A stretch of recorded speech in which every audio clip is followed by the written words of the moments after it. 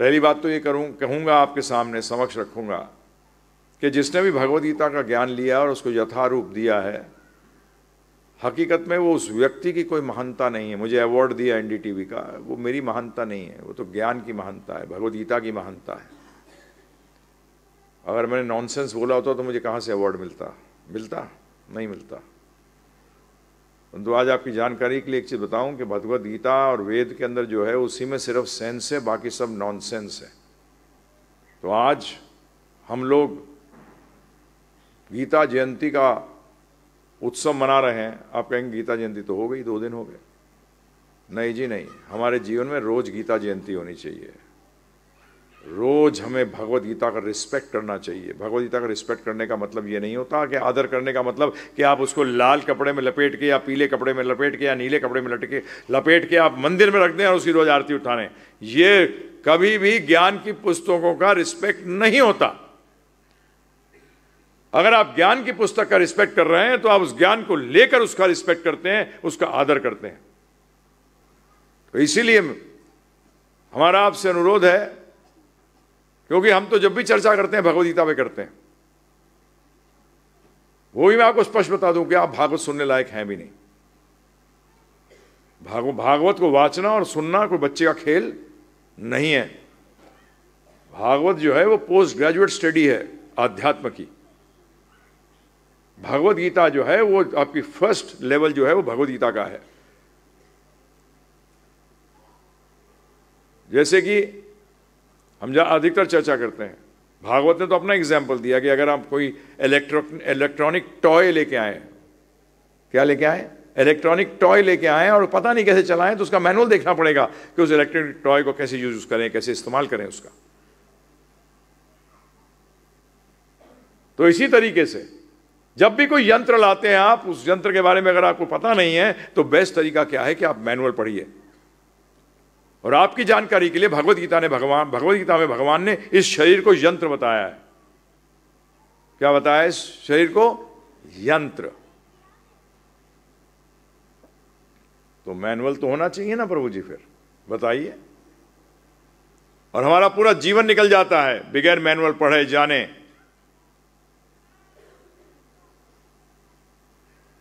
तो आज हम थोड़ी सी चर्चा करेंगे, क्योंकि भगवदगीता की चर्चा मैं आपके साथ घंटे भर में क्या करूँगा?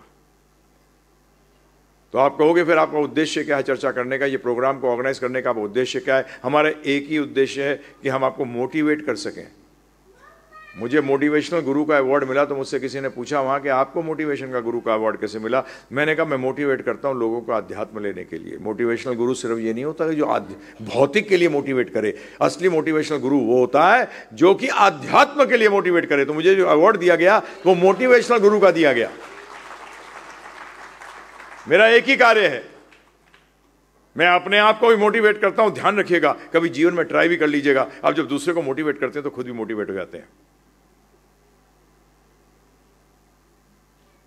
परंतु भौतिक मोटिवेशन करने के बाद आपकी फूंक निकल जाती है, उसकी भी निकल जाती है। मैं मिला हूँ कॉर्पोरेट में बहुत लोगों से। वो कहते हैं हाँ मोटिवेशनल गुरु जब आता है, कुछ बोल के आता है तो महीने, डेढ़ महीने तो हम लोग फूल के चलते हैं। उसके बाद हमारी हवा निकलनी शुरू हो जाती है। परंतु आध्यात्मिक जीवन के अंदर एक बार मोटिवेट हो गए, हवा रुकती है और बढ़ती है, फटती नहीं है। चलो चिंता मत करो कि फट जाओगे, नहीं फटोगे। उसमें आनंद जो है, वो रुकेगा, ठहरेगा, बढ़ेगा। यह है आध्यात्म क्षेत्र का, आध्यात्मिक ज्ञान का, यह है भगवत गीता के ज्ञान का। अभी मैं ब्रज की बात है, वहाँ उन्होंने क्लास सी रखी तो उसमें बच्चे थे कुछ।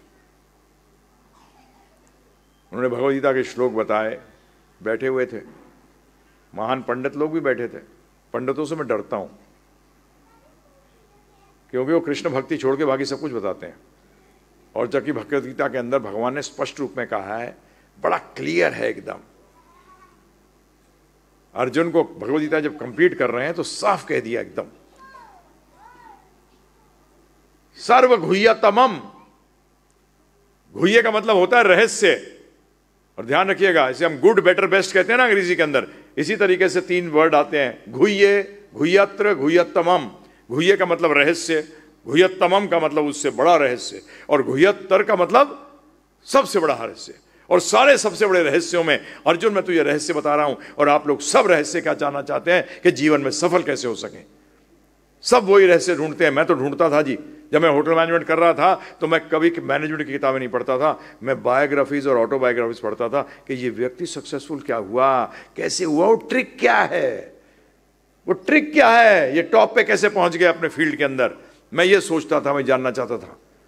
भगवान ने फिर मुझे कृपा करी, मुझ पर बोलते, बेटा, मैं बताता हूँ तुझे, असली रहस्य कैसे प्राप्त होगा? ये ले किताब। भगवत गीता ले, उसको जान और समझ और जीवन में लगा।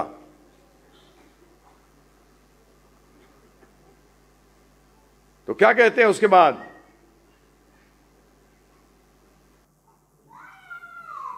मैं अपना परम वचह मेरा परम वचन जो है वो तुझे बता रहा हूँ, अपने हित के लिए सुन। और उसका अगला श्लोक है, ये श्लोक है चौसठवां, अठारहवें अध्याय का, और पैंसठवें श्लोक में भगवान स्पष्ट रूप में कहते हैं, मन मना भव मद भक्तो, मेरे भक्त बन जाओ। क्या बन जाओ? मेरे भक्त बन जाओ। लोग भगवान बनना चाहते हैं। आज मैं पढ़ रहा था मेरे गुरुदेव गुरुदेव प्रभुपाद कह रहे हैं, मोदी प्रभु, सुनोगे ना, मैं पढ़ के सुना दूँ, आपके पैर के नीचे ज़मीन खिसक जाएगी। बोलते हैं kick those people on their face क्या कहते हैं? जो भगवान बनना चाहता है बेवकूफ़ है। क्योंकि भगवान बना नहीं जाता, भगवान कोई पोस्ट नहीं है। आप दास थे, दास हो, दास रहोगे। सेवा करते थे, सेवा करते हो और सेवा करते रहोगे। आज बताओ मुझे एक व्यक्ति कौन भगवान बना है? जो ये क्लेम करते हैं बड़े बड़े कोई भगवान नहीं बना प्रभु जी आज तक। परंतु दास में आपको सब दिखा दूँगा। आप बोलो मैं तो भगवान को मानते नहीं, दास कैसे हो? अरे चाहे पॉलिटिशियन हो या आईएएस हो या बिजनेसमैन हो, सब दास हैं, सब सर्विस कर रहे हैं, सब सेवा कर रहे हैं। लो जी, हम तो दिखा रहे हैं, आप दिखाओ एक भगवान को जिसने भगवान बन गया हो जो। नहीं जी, मरने के बाद बनेंगे पोस्ट डेटेड चेक हमारे गुरु महाराज कहते थे पोस्ट डेटेड चेक जिसमें अकाउंट में पैसे नहीं है। मैं एक कदम और बोलता हूँ, अरे उसने वो पोस्ट डेटेड चेक दिया जब बैंक ही नहीं है। जिसका बैंक ही नहीं है भाई, उसका चेक दे दिया हमें। तो पहला दिमाग से हटा दीजिएगा। भगवत गीता में क्लियर है एकदम भगवान उवाच अर्जुन को कहीं नहीं कहा गया भगवान। अर्जुन ने कहीं माना भी नहीं। दसवें अध्याय में स्पष्ट रूप में कहा है यह हमारा सबसे बड़ा भ्रम है कि हम भगवान बनेंगे। भगवान बना नहीं जाता। भगवान था, भगवान हैं और भगवान रहेंगे। ये गलत फहमी मत रहना। पहली चीज़ तो भगवान ने भी कहा, जो मेरी भक्ति करता है, वही मेरा, जो भक्ति कर सकता है, वही परम है। वही मेरा परम रहस्य है। और इसी बात को भगवान ने यह भी सातवें अध्याय में कह दिया, बहु नाम जन्म नाम अंते बहुत जन्मों के बाद अंत में ज्ञानवान माम प्रपदते जो व्यक्ति ज्ञान में आता है, वो मेरी शरण में आता है। किसका वाक्य है ये? भगवान श्री कृष्ण कह रहे हैं। भगवत गीता में तो मेरे को कहीं भी नहीं दिखा। आज तक नहीं दिखा, ना कि भागवत में दिखा मुझे कि तू भगवान बन जाएगा। कैसे बन जाएगा? ये सोच भी कैसे आती है? कोई नहीं बना भगवान भगवान थे, हैं और रहेंगे। ये भगवत गीता का पहली चीज़ है। प्रभुपाद जी ने अपने इंट्रोडक्शन के अंदर जहाँ उन्मुख शुरू किया, उन्होंने भगवदगीता उन्होंने कहा, पहली चीज़ ध्यान रखना। अगर ये नहीं मानते तो भगवदगीता मत पढ़ो। पहले इस बात को थ्योरिटिकल भी मानो। किस लिए मानो? प्रैक्टिकली नहीं मान पाते, कोई चिंता नहीं है थ्योरेटिकली मानना पड़ेगा। क्योंकि उससे क्या होगा, आप ऑथर के अंदर या स्पीकर के अंदर डाउट नहीं करेंगे। अगर आप यहाँ बैठे हुए हैं और मुझ पर डाउट कर रहे हो तो आप एक पैसे की गिनती नहीं होगी, आपके फ़ायदा नहीं होगा आपका। ये मेरा काम है कि मैं आपको सत्य बताऊँ, और आपका काम है उस सत्य को चेक भी करो, ध्यान रखना। डाउट मत करो। चेक करो। चेक करने में और डाउट करने में फ़र्क होता है। शंका करने में और उसको चेक करने में फ़र्क होता है। मुझे आप प्रभुपाद जी की सबसे अच्छी बात यही लगी थी। उन्होंने मुझसे कहा था, मुझे शिष्य नहीं चाहिए, जो कि अंधविश्वास करते हैं, मुझे शिष्य चाहिए, जो कि पहले जाने और फिर शरणागत हों। Is it not intelligent saying ये क्या हमारी बुद्धिमता की निशानी नहीं है? हम क्या कह रहे हैं, आप बुद्धि बंद करके आइए। बिल्कुल नहीं कह रहे आप। तो हमें भगवदगीता आप लोग सब आज भगवदगीता के इस जयंती के उपलक्ष्य में मैं आपके सामने भगवदगीता को एक शौ, कभी मैंने दिया नहीं है। मैंने किया है। मैं पाँच मिनट में भगवदगीता समझाइए। कितने मिनट में? पाँच मिनट में। बड़ा आसान है, मुश्किल नहीं है। भगवदगीता है क्या? भगवदगीता शुरुआत कैसे होती है? मैं आज आपको एक घंटे के अंदर कोशिश करूँगा कि मैं एक घंटे के अंदर आपको भगवदगीता का सार दे सकूँ। देखिए, कोई भी ज्ञान का आदान प्रदान इंक्वायरी से शुरू होता है, जिज्ञासा से। प्रश्न से नहीं। प्रश्न और जिज्ञासा में फ़र्क है। आप प्रश्न कर सकते हो सकते जिज्ञासु ना हो, परंतु जिज्ञासा के अंदर प्रश्न इंक्लूडेड है। जिज्ञासा में प्रश्न सम्मिलित है, परंतु प्रश्न में जिज्ञासा सम्मिलित है, ऐसा नहीं है। धृतराष्ट्र ने प्रश्न नहीं किया था। धृतराष्ट्र ने जिज्ञासा से शुरू किया था। आप बोलोगे, वो कैसे? वो ऐसे वो जानना चाहता था कि उसके, वो सीरियस था। जब प्रश्न सीरियस होता है, उसको जिज्ञासा कहते हैं। तो धृतराष्ट्र बड़ा सीरियस था ये जानने के लिए कि दोनों में पहली बात तो युद्ध हो रहा है कि नहीं हो रहा। पहली बात तो क्या है कि मेरे बच्चों में और पांडवों के पुत्रों में युद्ध हो रहा है कि नहीं हो रहा है? उसके मन में दो शंकाएँ आ गई थी। एक शंका ये थी कि कहीं मेरे बच्चों पे कुरुक्षेत्र का अच्छा प्रभाव ना पड़ जाए। धर्म क्षेत्र का कहीं अच्छा प्रभाव पड़ गया और उन्होंने कह दिया, चलो छोड़ो, तुम आधा ले लो। या ये तो नेगेटिव फीलिंग थी उसकी। पॉजिटिव क्या थी? क्या पता पांडवों पे उसका अच्छा असर पड़ जाए, जिससे कि वो युद्ध छोड़ दे। बोले दुर्योधन तू सारा ले ले। देखा, एक नेगेटिव और एक पॉजिटिव परंतु जिज्ञासा थी, ये प्रश्न नहीं था। ये जिज्ञासा थी, ये प्रश्न नहीं था। अब धृतराष्ट्र को संजय जी ने बोलना प्रारंभ किया कि ये हो रहा है, अर्जुन आ गए हैं। अर्जुन अब सैन्य निरीक्षण कर रहे हैं, जानना चाहते हैं क्या है, क्या नहीं है, कौन सा सामने कौन खड़ा है, वो तो आप जीवन में भी करते हो। जानना चाहते हो कि ऑपोजिट पार्टी क्या है, क्या उसके प्लस हैं, क्या माइनस हैं, सब जानना चाहते हो। कोई भी आपका कंपटीशन होता है ना लाइफ के अंदर, उसमें आप ये देखते हो you try to you want to understand आप समझना चाहते हो इस बात को। चाहे कोई भी कंपटीशन में पेयर होते हो उसमें क्या देखते हो? कि क्या चीज़ें हैं जो नेगेटिव हैं और क्या चीज़ें हैं जो पॉजिटिव हैं। कहाँ हम लोग गलती करते हैं? मेरे पिताजी के साथ हुआ। एग्ज़ाम देते थे।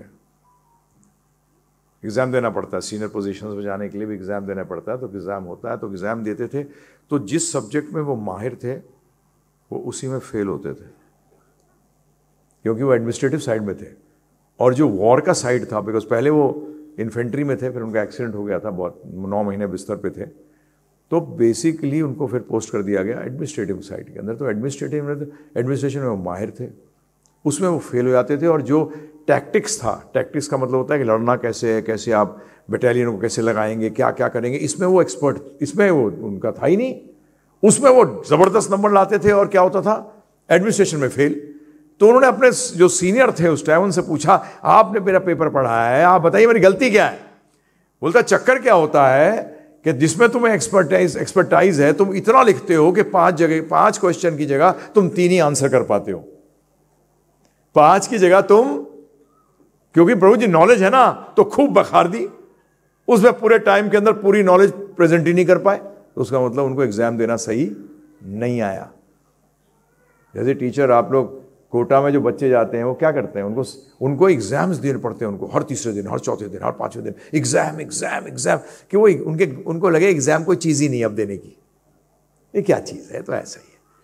क्योंकि एग्ज़ाम का फोबिया हो जाता है। नहीं तो क्या होता है, आप जब साल भर बाद एग्ज़ाम देते हो तो ना एक डर होता है, और ये क्या होगा? अब इतने सारे एग्ज़ाम दे दिए जो होगा, ऐसा देखा जाएगा। मतलब पहला, आप सिखाते थोड़ी हो उसको। पहला उसको साइकोलॉजिकली आप स्ट्रॉन्ग करते हो।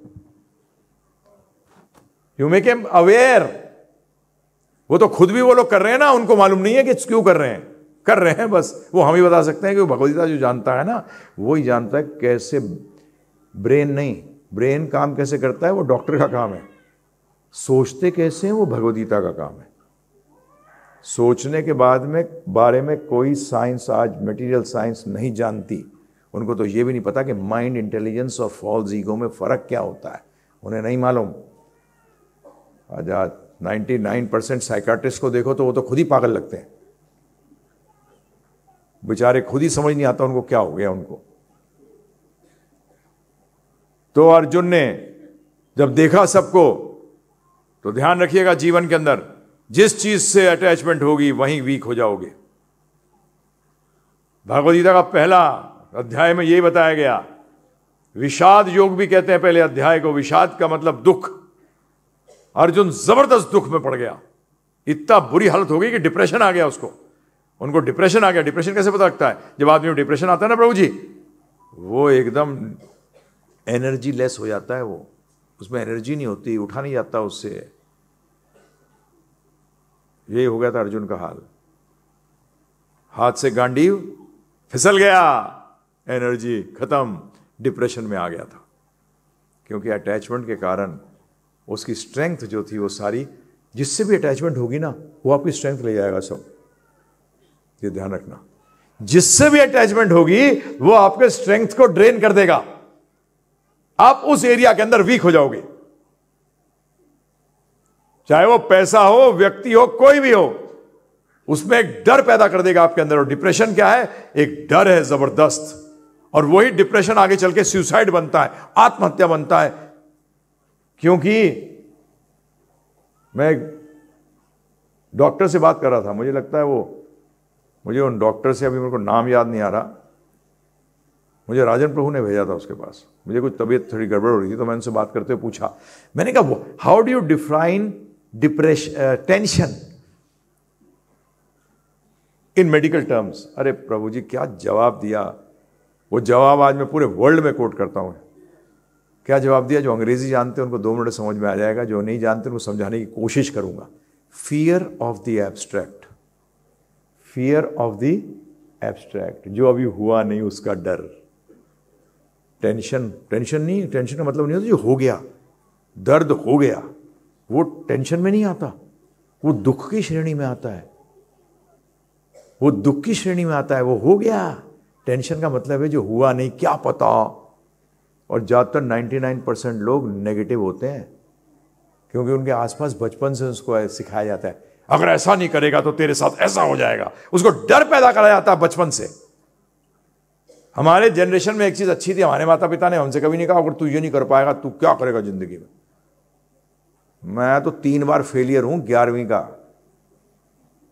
आज नोबेल प्राइज विनर के साथ बैठ के भी चैलेंज करता हूँ बात कर मुझसे। किस किस बल पे? किसके बल पे। मैं थोड़ी हूँ कुछ, ताली बजा दी। हाँ जी, ये ताली मेरे लिए नहीं है, भगवत गीता के लिए है। मैं इस भ्रम में नहीं रहता, ध्यान रखिएगा। ये मेरी भ्रम होगा, अगर मैं सोचूं कि ये ये नॉलेज तो मेरे को मेरे गुरु महाराज ने दी है शिला प्रभुपाद जी ने दी है। मेरा इसमें क्या बड़ी चीज़ है? आज आज ये माइक जो है उछलने लगे। वाह वाह, मैं क्या लेक्चर दे रहा हूँ? ये बेवकूफ़ी नहीं है। भाई साहब, मैं दे रहा हूँ तो चुपचाप सुन के आगे दे। हमारा भी यही हाल है। तो ये भगवदगीता का ज्ञान है प्रभु जी। जब भी मेरे पास कभी कोई बच्चा आता है, बच्चों ऐसा मत करना तुम लोग। मैं थोड़ा सा अलग किस्म का व्यक्ति हूँ। जब मेरे पास कोई बच्चा आता है, सुरेश जी तो क्या बोलते हैं, पढ़ नहीं रहा तो मैं क्या बोलता हूँ, मेरी जैसा बनेगा? अरे भाई, एक रास्ता थोड़ी है। आप लोग यहाँ बुज़ुर्ग बैठे हुए हैं, वो जानते हैं इस बात को। जब हमारे हमारे स्कूल में टीचर कहता था, अरे कौन सा कुंभ का मेला है, जो एक बार आएगा, बारह साल बाद आएगा? अरे हर साल आएगा। और ये मेरे को फादर कहते थे failures are the pillars of success उस टाइम नहीं समझ आता था तो सोचते थे फेलियर है, इसलिए सक्सेसफुल होंगे। तो भगवत गीता यहाँ से शुरू होती है जब वो टेंशन में आते हैं टेंशन के बाद डिप्रेशन में आते हैं डिप्रेशन के बाद सुसाइड के लिए तैयार हो जाते हैं कि मेरे को निहत्ता भी मार जाएँगे मरने को तैयार हूँ। ये सुसाइड के लेवल पे आ गए। वहीं से भगवत गीता प्रारंभ होती है जब अर्जुन को उसने सुसाइड नहीं किया।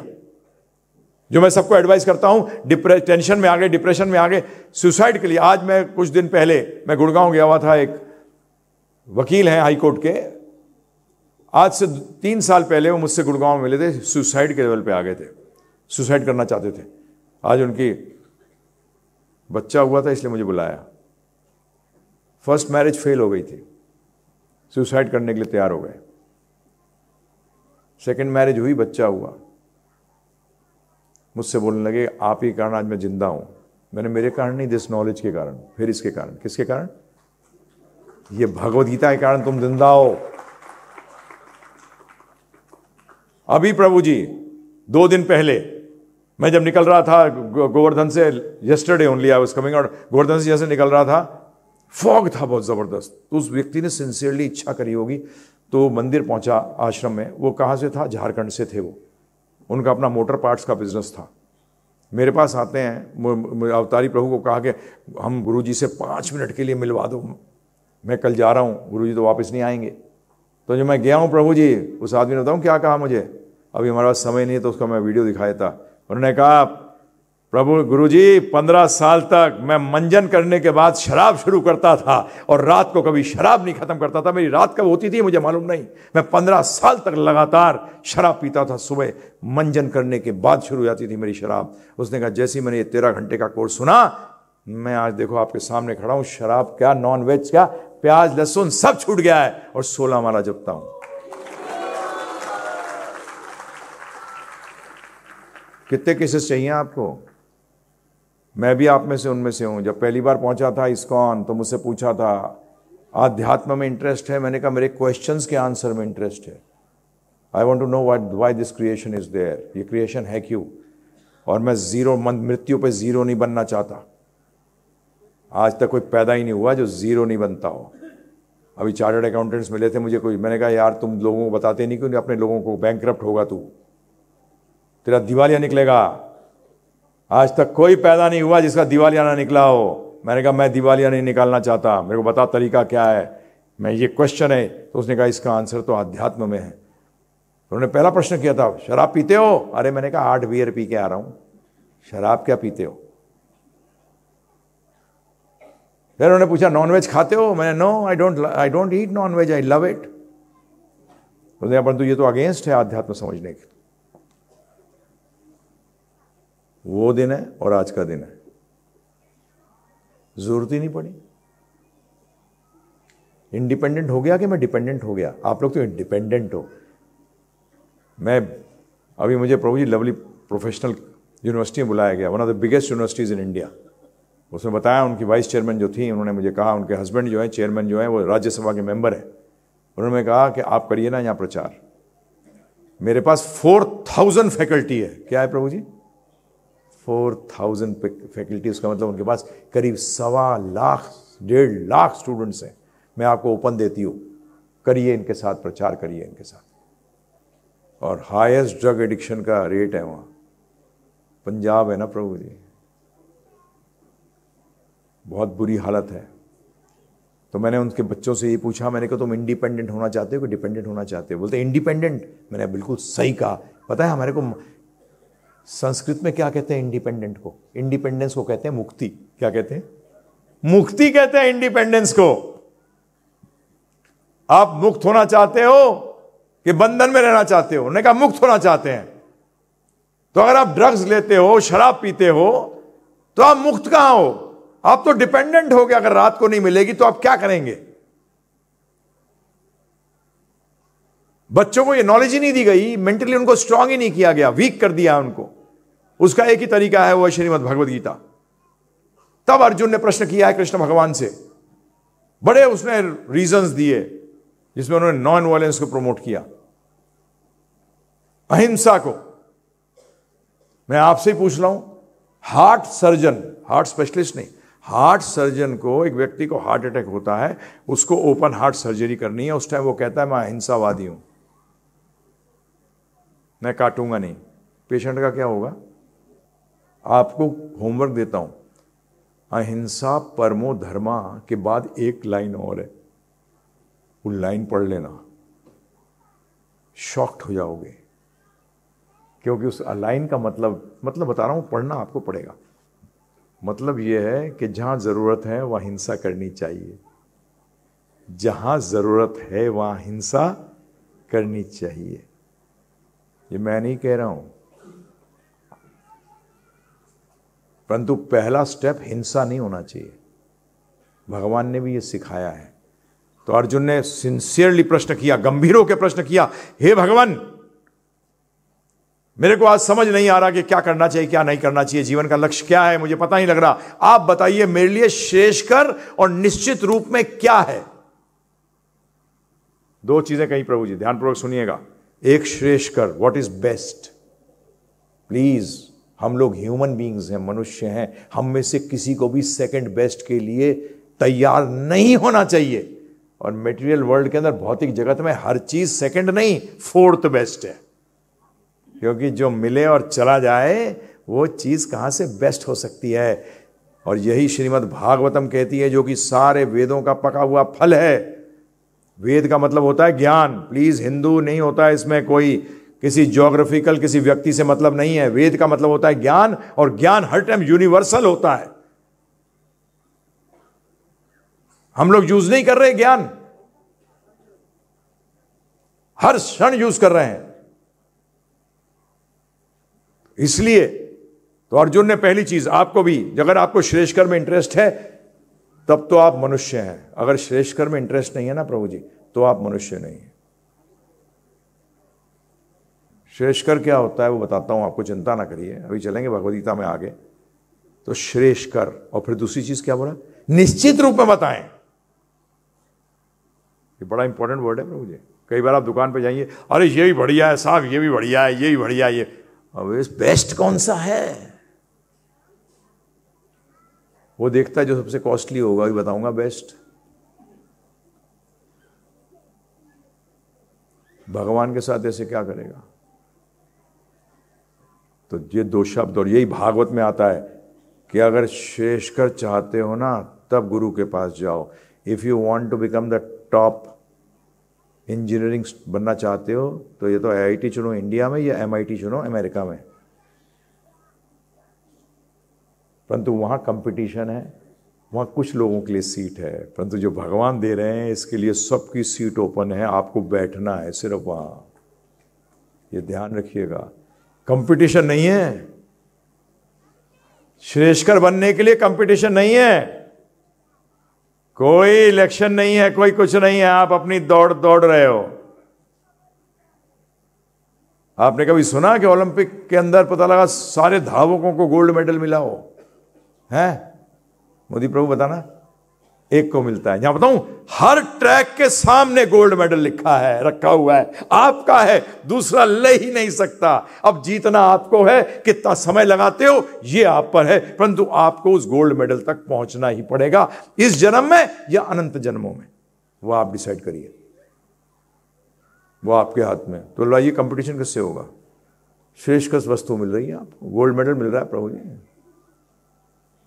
आप उपराप्त कर सकते हैं। तो अर्जुन ने, और फिर क्या कहा? आपने बोला, मेरे को शेषकर चाहिए। ठीक है प्रभु जी? निश्चित रूप में बताओ। तो नेक्स्ट स्टेप में this is very important shlok, इसलिए मैं थोड़ा सा इस पर टाइम दे रहा हूँ। सबसे इंपॉर्टेंट श्लोक है भगवदगीता का, जहाँ अर्जुन कहते हैं, शिष्यस्ते हम साधी माम प्रपणम कि मैं आपका शिष्य हूँ। ये नहीं कहा कि कृष्ण भगवान आप मेरे गुरु हो रहा ज़्यादातर 99 परसेंट मैंने लोगों को सुना है, मेरे गुरु वो हैं, तू क्या है? तू तो कभी शिष्य बना ही नहीं। गुरु तो पहले भी गुरु था, अब भी है। है प्रभु जी? बताइए मुझे। अर्जुन का वर्ड सुनिए। एक एक वर्ड इतना हैवी है। हैवी का मतलब किस चीज़ का? वेट है। मीनिंग है। हैवी विद मीनिंग शिष्यस्ते हम साधिमाम प्रवणम मैं आपका शिष्य हूँ। आप मेरे गुरु नहीं हो। गुरु तो आप थे ही। आप तो आदि गुरु हो, मैं आपको क्या बोलूँगा? क्या आप गुरुदेव? बोले, मैं तो हुई, क्या बोल लिया है? है?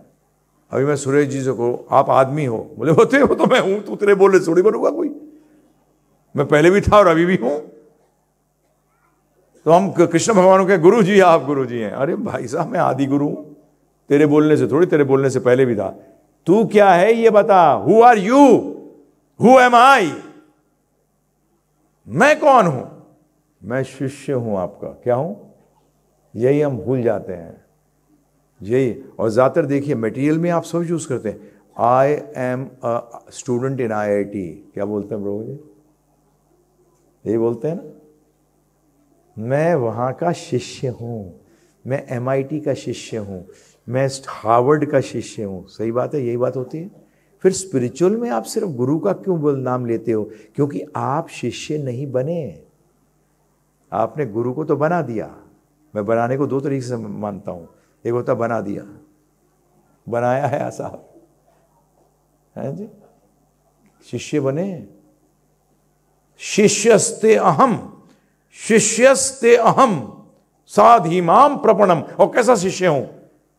मैं आपकी आज्ञा का पालन करूँगा। उपदेश दें मुझे। क्या दें? उपदेश।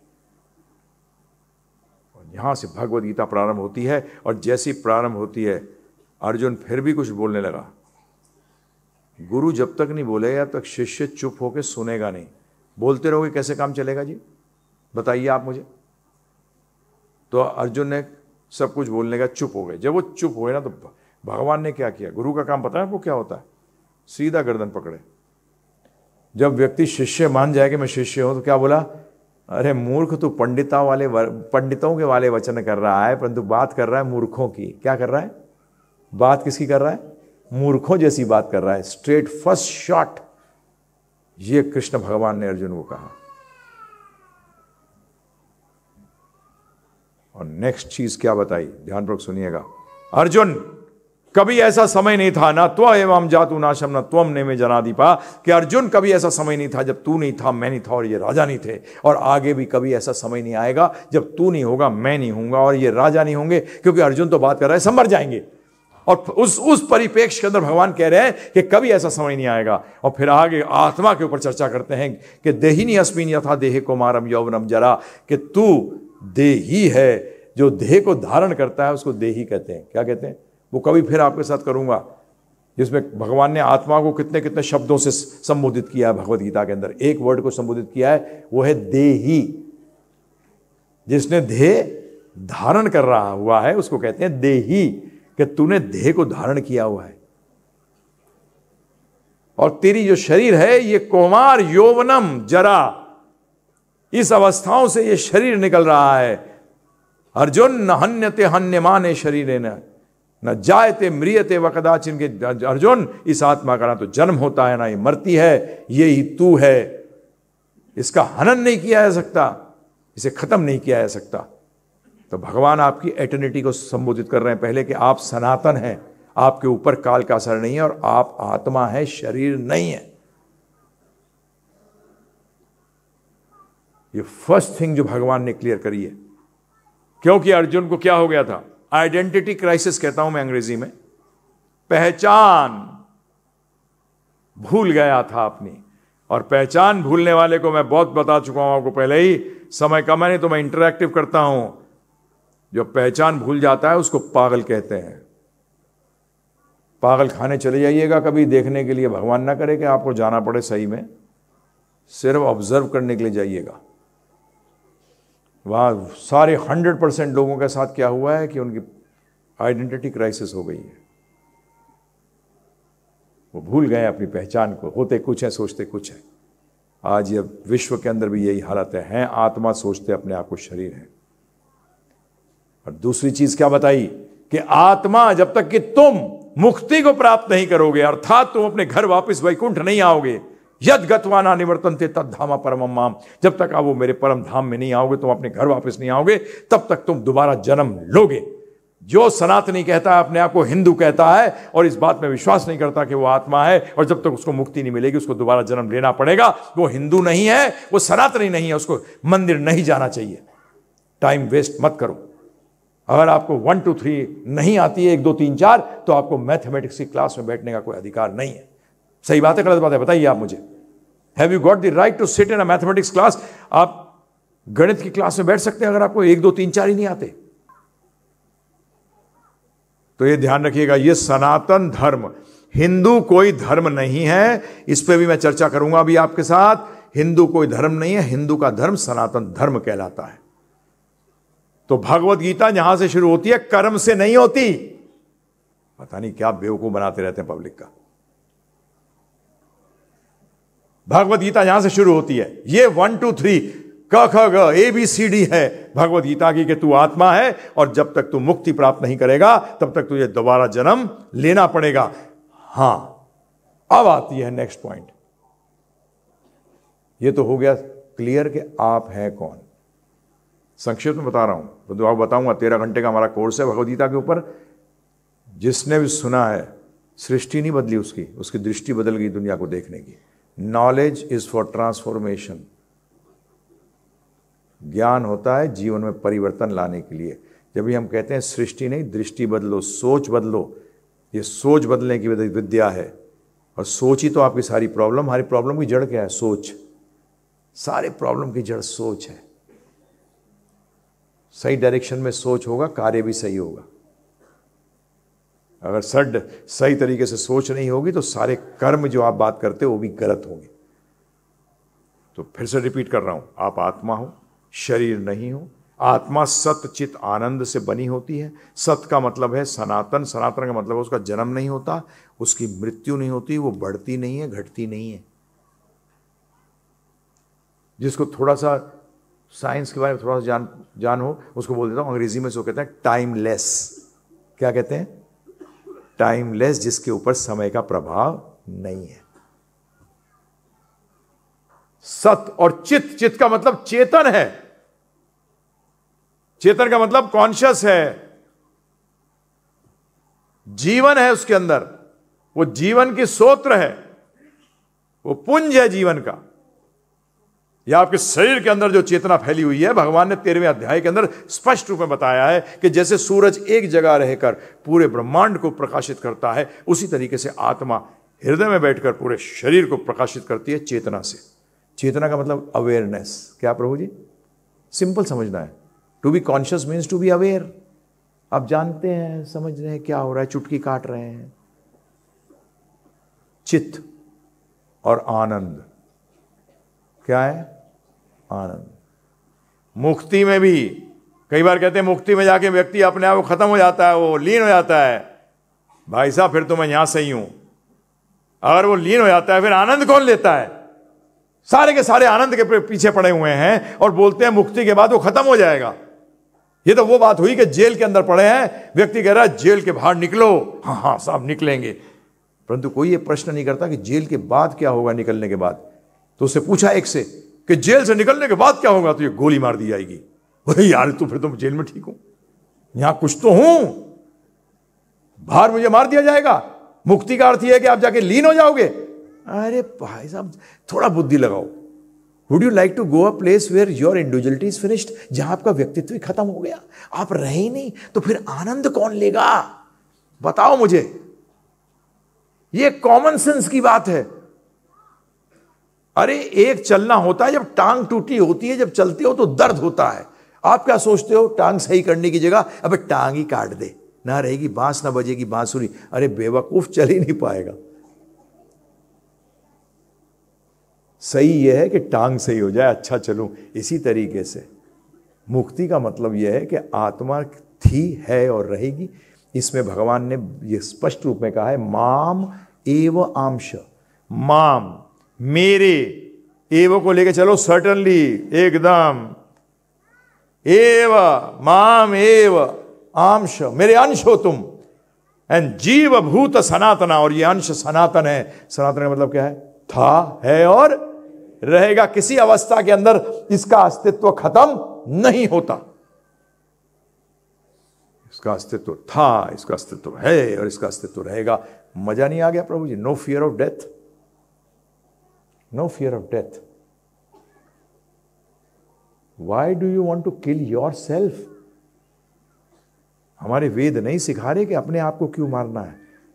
अरे सुसाइड तो सबसे बड़ा यही होता है कि आत्मा भी जाके खत्म हो जाए। इससे बड़ी सुसाइड क्या हो सकती है? इसको हमारे गुरु महाराज कहते थे स्पिरिचुअल सुसाइड परंतु वो मर, मरता नहीं है।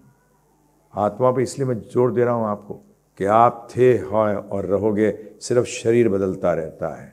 जब ही हमारे शास्त्र मृत्यु कहते हैं, देह अंत। देह का अंत होता है, आपका थोड़ी होता है। सिंपल एग्ज़ाम्पल कोई मर जाता है, क्या बोलते हैं? चला गया। क्या बोलते हैं? चला गया। कौन गया भाई? ये तो यही पढ़ा है, जैसे हमारे डिवोटी के साथ हुआ था। उसके पिताजी की डेथ हो गई, घर पहुँचा, चाचा जी कहते हैं, तेरे पिताजी चले गए। तो बोलते हैं, ये कौन पढ़े हैं? बोले, तेरे पिताजी हैं। अरे तो अभी तो कह रहे थे, चले गए। फिर कहते हैं, पिताजी, फिर अपनी माँ से पूछा, माँ, बताओ ना, कौन है ये? बोले, तेरे पिताजी हैं। फिर वो, है ना, फिर क्यों रो रहे हो? बोले, नहीं, वो चले गए। यार डिसाइड करके बताओ कि यहाँ है कि चले गए? बोले, नहीं बेटा, चले गए। फिर किसके साथ रहती थी आप ये? इसके साथ रहती थी? ये कौन है? किसके साथ रहती थी आप? आंसर नहीं दे पाते। जबकि आंसर अपने उसी उसी में है कि चले गए। कौन चला गया? शरीर तो वहीं पड़ा है। हैं जी? कभी विचार नहीं करते, थोड़ा सोच नहीं करते। इसके बारे में ज़्यादा नहीं बताऊँगा। तेरह घंटे सुनिए, सब क्लियर हो जाएगा। परंतु ये बहुत इंपॉर्टेंट चीज़ है। इसके बाद नेक्स्ट स्टेप आता है कि हम हैं कहाँ? हम हैं कहाँ और हम कहाँ के हैं? दो क्वेश्चंस हम हैं कहाँ और हम कहाँ के हैं? अभी आप सबके सब एमनीशिया में हैं। आप भूल गए हैं, अपने आप को भूल गए हैं कि मैं कहाँ का बाशिंदा हूँ, मैं कहाँ का रहने वाला हूँ, मैं कहाँ हूँ? आप ढूंढ रहे हो। आप ढूंढ सही वस्तु रहे हो। आप में से कौन, कितने लोग यहाँ बैठे हो, चाहते हैं कि ऐसा ऐसा पैसा आए, ऐसे रिश्ते आए, जो अभी रहे फिर खत्म हो जाए। कोई नहीं चाहता ऐसा। सब चाहता है कि जो रिश्ते बने, वो रुकें और बढ़ें। आप सही चीज़ सोच रहे हो, परंतु गलत जगह ढूंढ रहे हो। प्रॉब्लम कहाँ है? ढूँढने की। इच्छा सबकी यही है, नहीं है सबकी। बताइए, कौन यहाँ बैठा है जो कहता है, नहीं नहीं, ऐसे नहीं, ठीक है, आ जाए, थोड़ा सा फिर रोता रहूँ, फिर फिर थोड़ी देर आ जाए। किसने कहा ये? आपका नेचर ही नहीं है। आपका स्वभाव क्या है? आपका स्वभाव आनंद का है। आनंद वो सुख होता है जो आता है, रुकता है और बढ़ता है। आप बिज़नेस में क्या चाहते हैं? या बिजनेसमैन बैठे हैं? पूछिए उनसे कि बिज़नेस रुके और बढ़े। रुकना तो बहुत ज़रूरी है। रुके बगैर तो बढ़ेगा कैसे? तो जो आपने कर लिया है, वो तो रुके और फिर वो बढ़े। और मज़ा क्या होता है? थोड़ी देर रुकता है, फिर खत्म। और आनंद क्या होता है? जो रुकता है, चलता है और बढ़ता जाता है। अब बताइए, कौन आप में से है जो ऐसा नहीं चाहता? आप सब चाहते हो, परंतु गलत जगह ढूंढ रहे हो।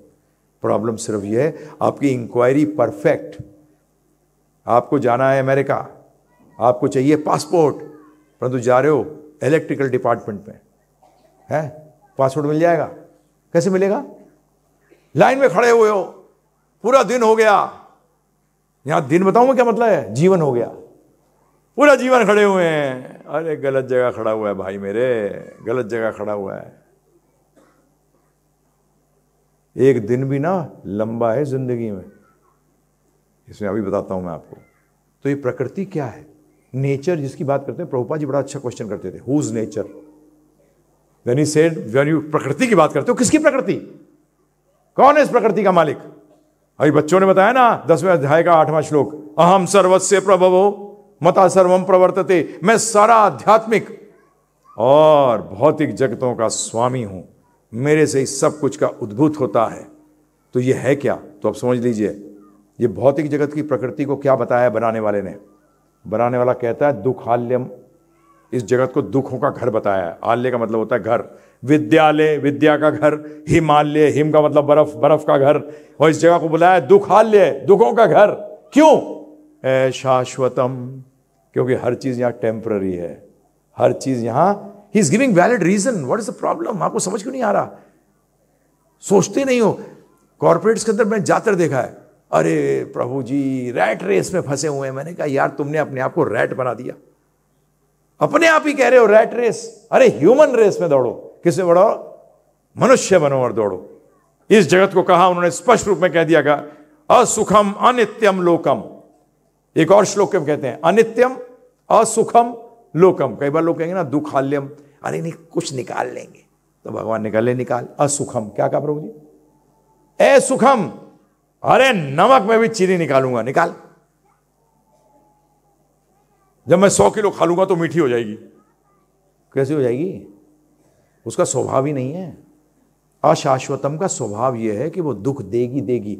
वो टेंशन देती है कि चली जाएगी, ये डर होता है कि चला जाएगा चला जाएगा। ये डर होता है। ये प्रकृति है जिसमें हम हैं और हम क्या है? सनातन। सतचित आनंद। हम आनंद से बने हुए हैं। हम फुल्ली कॉन्शियस हैं, चेतन है, चेतन का मतलब हमें हर मालूम है सब चीज़ें। परंतु अभी ढकी हुई हैं, अभी ढकी हुई हैं। सत है, सनातन है, मरते नहीं कभी टेम्पररी है ही नहीं। और हम हैं कहा टेम्पररी वर्ल्ड में। जो असत है, अचित है, ये इसमें चेतना है, इसमें। Is is this sofa aware नहीं है, ये जड़ है। और हम क्या है? चित्त। चेतन, जीवित। आनंद, इसमें आनंद कहाँ है? बताइए आप मुझे। बिल्कुल ऑपोजिट जगह पे बैठे हैं हम लोग। इसलिए भगवान ने प्रकृति को भी डिस्क्राइब किया। क्या किया? प्रकृति को भी डिस्क्राइब किया। और बताया, ये प्रकृति बनी हुई किससे है? ये बनी हुई है तीन गुणों से। सतुगुण, रजुगुण, तमोगुण। और गुण का मतलब होता है एक संस्कृत के अंदर बांधना। इन तीन गुणों से हम बंधे हुए हैं। देखिए, बड़ा, एक चीज़ बड़ा भगवान ने ऐसा क्यों बताया हमें गुणों के बारे में? उन्होंने कहा, जो गुणों की प्रक्रिया को समझ जाता है इंटरेक्शन ऑफ़ दिस गुणों को समझ जाता है, उसको मुक्ति बड़ी ईजी हो जाती है। जैसे उदाहरण के तौर पर सोचिए जरा, दिमाग लगाइए। अगर आपको कोई बाँध देता है और आपको बताए गांठ कैसे लगाइए ईजी हो जाएगी, खोलनी नहीं हो जाएगी, बताइए आप मुझे। ईजी हो जाएगी खोलना। अगर पता है गांठ कैसे लगी हुई है, भगवान बता रहे हैं सब कुछ कि गांठ कैसे लगी हुई है, कैसे पकड़ती है। इन तीनों को बोला गया है, लोहे की चेन, तमोगुण। चांदी की चेन रजोगुण और सोने की चेन, सतोगुण। अब बताइए आप मुझे, अरे भाई, चेन तो है ही। तीनों में क्या चीज़ है? चेन है, बांधे हुए हैं। आप बोलो जी, अरे पुलिस, पुलिसिया साहब, ये पैसे ले लो, मेरे को तो सोने की हथकड़ी दे दे। अरे हथकड़ी तो हथकड़ी बेवकूफ़ी कर रहा है। क्या फ़ायदा होगा उससे हथकड़ी से, बताओ आप मुझे। हथकड़ी तो हथकड़ी है प्रभु जी। तो भगवान ने भी बता दिया, हमें प्रकृति क्या फिर बताया एक प्रकृति और है जहाँ का तू है। यद गतवा वहाँ जाने पर यद गता गतवा, वो गति वहाँ पहुँचने पर यद गतवा ना निवर्तनते, वहाँ तू कोई चीज़ खत्म नहीं होती। ना निवर्तनते, तद धामा, वो धाम परमम मामो परम धाम मेरा है, जहाँ का तू भी है। तो अब कहा जाना चाहिए बताइए? मछली को आप पानी से निकाल दो। मछली के पानी से निकाल के मुझे फ़र्स्ट क्लास महल वहल दे दे। मछली की बेवकूफ़ी है कि नहीं है? बेवकूफ़ी नहीं है, महाबेवकूफ़ी है। फिर वो तड़पता है, उछलती है मछली, इधर से उधर, इधर से उधर। उसको समझ नहीं आ रहा कि उछलने से थोड़ी तो चली जाएगी पानी में। पानी को ढूंढना पड़ेगा और पानी की तरफ़ बढ़ना पड़ेगा। हम भी यही करते हैं, पूरे जीवन में उछलते रहते हैं कि कहीं से तो आनंद प्राप्त हो, परंतु यहाँ आनंद है ही नहीं। आनंद की दहाई, उसकी चीज़ ही अलग है वो। और आप कहाँ ढूंढ रहे हो? वो तो आप हो ही। जब भी उदाहरण देते हैं, हमारे गुरु महाराज बड़ा अच्छा उदाहरण देते हैं। लकड़ी के अंदर अग्नि है, हर लकड़ी के अंदर अग्नि है, परंतु अग्नि अपने आप प्रकट नहीं होती, बाहर से अग्नि दिखानी पड़ती है। कितना ज़बरदस्त उदाहरण है। अग्नि के अंदर अग्नि, अब लकड़ी जितनी गीली होगी, उतनी अग्नि ज़्यादा देर तक दिखानी पड़ेगी। इसी तरीके से गुरु क्या करता है? प्रभुपादी बड़ी अच्छी बात कहते थे, मैं तुम्हें भक्त थोड़ी बना रहा हूँ, तुम तो भक्त ऑलरेडी हो, मैं तो तुम्हें याद दिला रहा हूँ। तुम भूल गए हो। एमनिशिया जब हो जाता है ना जब व्यक्ति भूल जाता है अपना पिछले जीवन के अंदर तो उसको क्या किया जाता है? उसको वहाँ वहाँ लिया, लेके जाया जाता है, जो जगहों को वो पहचान सके, दोबारा उसका रिवाइव हो जाए। जैसे आप जब हरे कृष्ण महामंत्र कराते हैं कि कृष्ण का नाम याद आएगा, कई लोग वो आता है, बहुत ही बड़ा ज़बरदस्त शांति मिली, आनंद है भगवान ने ट्रेलर दिखा दिया। भगवान ने ट्रेलर दिखा दिया। देख देख। परंतु यहाँ आगे बढ़ने से पहले बोल दूँगा, इसका मतलब नहीं कि छोड़ के आ जाओ। ये छोड़ विद्या नहीं है, योग विद्या है। क्या है? हाँ ये क्लियर करके रखिएगा। आप कहोगे, मैंने छोड़ दिया, क्या छोड़ दिया जी? आहार छोड़ दिया, मर जाऊँगा। कपड़े पहने छोड़ दिया, कैसे छोड़ सकता हूँ? छत नहीं चाहिए। चाहिए ना प्रभु जी? नहीं चाहिए, बताइए आप मुझे। परंतु अब मैं इनके लिए नहीं हूँ, ना छत के लिए हूँ, ना कपड़ों के लिए हूँ, ना आहार के लिए हूँ। ये मेरे लिए है। मेरे लिए मतलब मेरी आत्मा की प्रगति के लिए। यंत्र, आप गाड़ी रखते हो ना प्रभु जी? आपके लिए गाड़ी है या गाड़ी आपके लिए? बताइए जरा मुझे। बोलिए। गाड़ी आपके लिए है। गाड़ी का काम है आपको जगह, अपने लक्ष्य तक पहुंचाना। ना कि आपका काम है दिन रात गाड़ी को साफ़ रख के रखना। फ़र्स्ट क्लास रख भैया टायर वायर में हवा भरियो। इंजन फ़र्स्ट क्लास रखियो सर्विस कर दिया कर हर दूसरे दिन, गाड़ी चले ना चले। जाना कहीं नहीं। जाए भी तो घूम के आ गए। जाना ऑफ़िस था, गई नहीं। यही आप लोग और हम लोग सब करते हैं। पूरा जीवन करते रह गए। तो आपका क्या हुआ? आत्मा का लक्ष्य कहाँ है? आत्मा का लक्ष्य अपने घर वापस जाना। ये उसका घर नहीं है। जब ही सबके सब क्या कहते हैं? ये क्या है जगह प्रभु जी? सराय है। ये क्या है? सराय है। धर्मशाला है ये। होटल में हो। मेरे दादाजी भी अब थोड़ी ज़िंदा है यहाँ। चले गए वो भी। कहीं और किसी और जगह पे इतना बड़े धर्मशाला में किसी और कमरे में बैठे होंगे। हैं जी? बताइए आप मुझे। नहीं बैठे होंगे बैठे होंगे। हम भी पता नहीं कितने कमरों में बैठ के आ गए। जभी भाई मोदी जी मुझसे नाराज़ हो जाएँगे। यही मैं कहता हूँ, मुसलमान से पूछो जाके, जीवन का लक्ष्य क्या है? जन्नत। एक सेकंड में बोलता है, हिंदू से पूछो, बगले झाकता है। ये बोला है मोदी प्रभु, साढ़े तीन करोड़ व्यूज़ हो गए हैं, मुसलमानों ने फैला दिया है इसको चारों तरफ़। देखो, साधु बोल रहा है। जो सही है वो सही है। जब तुम गधे हो तो गधे हो। मैं गधे को कैसे कह सकता हूँ, इंसान? हमारी भागवत कहती है, दुई पद पशु। जो इन चीज़ों को नहीं जानता, इस पर चलता नहीं। वो दो पैरों का पशु है। ये मैं नहीं कह रहा। देखिए क्लियर रही अपने जीवन के अंदर। या तो मैं नास्तिक हूँ या मैं आस्तिक हूँ। मुझे वो लोग पसंद है जो कहते हैं, मैं आस्तिक हूँ। मुझे वो दोगले पसंद नहीं है, जो सारे कार्य तो आस्तिक के, नास्तिक के करते हैं और बोलते हैं, मैं आस्तिक हूँ। दोगला व्यक्ति का कभी भला नहीं होता। भगवान ने गीता में भी कहा है, भागवत में भी कहा है। हमारे सारे आचार्यों ने कहा है कि दोगले लोग बेड़ा गर्ग होता है उनका। उसे यही नहीं पता कि मैं क्या हूँ। अरे बी क्लियर मेरे को मिलते हैं कई लोग। जब मैं मैं तो इंटेलेक्चुअल्स के बीच में बहुत प्रचार करता हूँ, साहब बोलते हैं आई एम एन एथिस्ट मैंने good let's have a discussion you are clear बाबा मज़ा आएगा तेरे साथ. एक बोलता है, मैं नहीं, मैं आस्तिक हूँ। दो क्वेश्चन पूछता हूँ। पता लगता है तो महान आस्तिक है। प्रभु जी, जो एक्टिंग कर रहा है, सोने की, उसको कैसे उठाऊँगा? जो सो रहा है, उसको तो उठा सकता चलो उठ। आग लगी है। आग लगी हुई है। एक्टिंग कर रहा है सोने का, इसलिए ध्यान रखिएगा, ये दोगला दोगलापना मत करिए। मृत्यु के समय दोगले का दोगलेपना काम नहीं आएगा। मेरा काम आपको सत्य बताना है, आपको अच्छा लगे, बुरा लगे, ये गुरु का काम नहीं है, टीचर का काम नहीं है। दो दूनी पाँच नहीं बेटा, एक लाख का चेक लिया, पाँच भी पास है। आगे फेल होगा, बुरी तरह। इम्तिहान का समय होता है, मृत्यु का। Please give some time for your yourself लिए कुछ समय दीजिए, विचार करिए। मेरे पास तो समय नहीं है। अरे, समय किसी के पास नहीं होता, समय निकालना पड़ता है। समय निकालना पड़ता है, समय कभी नहीं होता। तो ये हुआ प्रकृति। प्रकृति के बाद अब तीसरा क्वेश्चन तीसरी चीज़ जो गीता बताती है, इन दोनों का स्वामी कौन है? इन दोनों का स्वामी कौन है? क्यों जानना ज़रूरी? अरे, मेरे पास कोई नया यंत्र आता है प्रभु जी तो मुझे जानना, पता लगे, कैसे पता लगेगा कि ये किस लिए बना है? उसका उद्देश्य क्या है? किसको ढूंढना पड़ेगा? उसको बनाने वाले को ढूंढना पड़ेगा। जब बनाने वाले ने कोई मैनुअल दी होगी तो उसको देखना पड़ेगा। इसी तरीके से भगवान को जानना आवश्यक। अभी मैं उसकी बात नहीं कर रहा कि कौन भगवान है। आप लोग पहले पहुँच जाते हो। भगवान को तो मानते नहीं है। कौन है भगवान? भाई साहब, ए भाई उनका नाम है एक्स वाई जेड तो पहले ये तो मान के भगवान है। There is a creator there is a source पहले इतना तो मानो, झगड़ा पहले करते हो। ये है, वो है, और ये। मैं सब डिवोटी से भी कहता हूँ, यहाँ कई लोग हैं जो प्रचार करते हैं। जैसे ये बात उठे, आपको मेरा अनुरोध है, हाथ जोड़कर विनती करता हूँ, पहले बाप को मानना सिखाओ, फिर बाप कौन है, उसको ढूंढ लेंगे बाद में। पहले झगड़ा करना शुरू करते हैं, नहीं नहीं, वो मेरे बाप जो है, उसका ये नाम है या ये नाम है या वो नाम है तो बाप को मानता है, बोलता नहीं? फिर क्यों झगड़ रहा है भाई आपस में नाम को लेकर? Let the let it be a secondary thing पहले आस्तिक बनो। गीता स्पष्ट कहती है, जो व्यक्ति आस्तिक नहीं है, वो असुर है।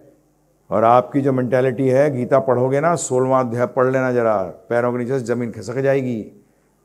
भगवान बता रहे हैं, असुर कौन है? और आज 99.9 परसेंट लोग असुर की श्रेणी में आते हैं। असुर के कोई सींग नहीं होते। असुर की सोच होती है। और सुर की भी सोच होती है और सोच बदली जा सकती है। अगर सिंह होते तो सिंह कैसे हटाते? सोच को हटाया जा सकता है, सोच को चेंज किया जा सकता है।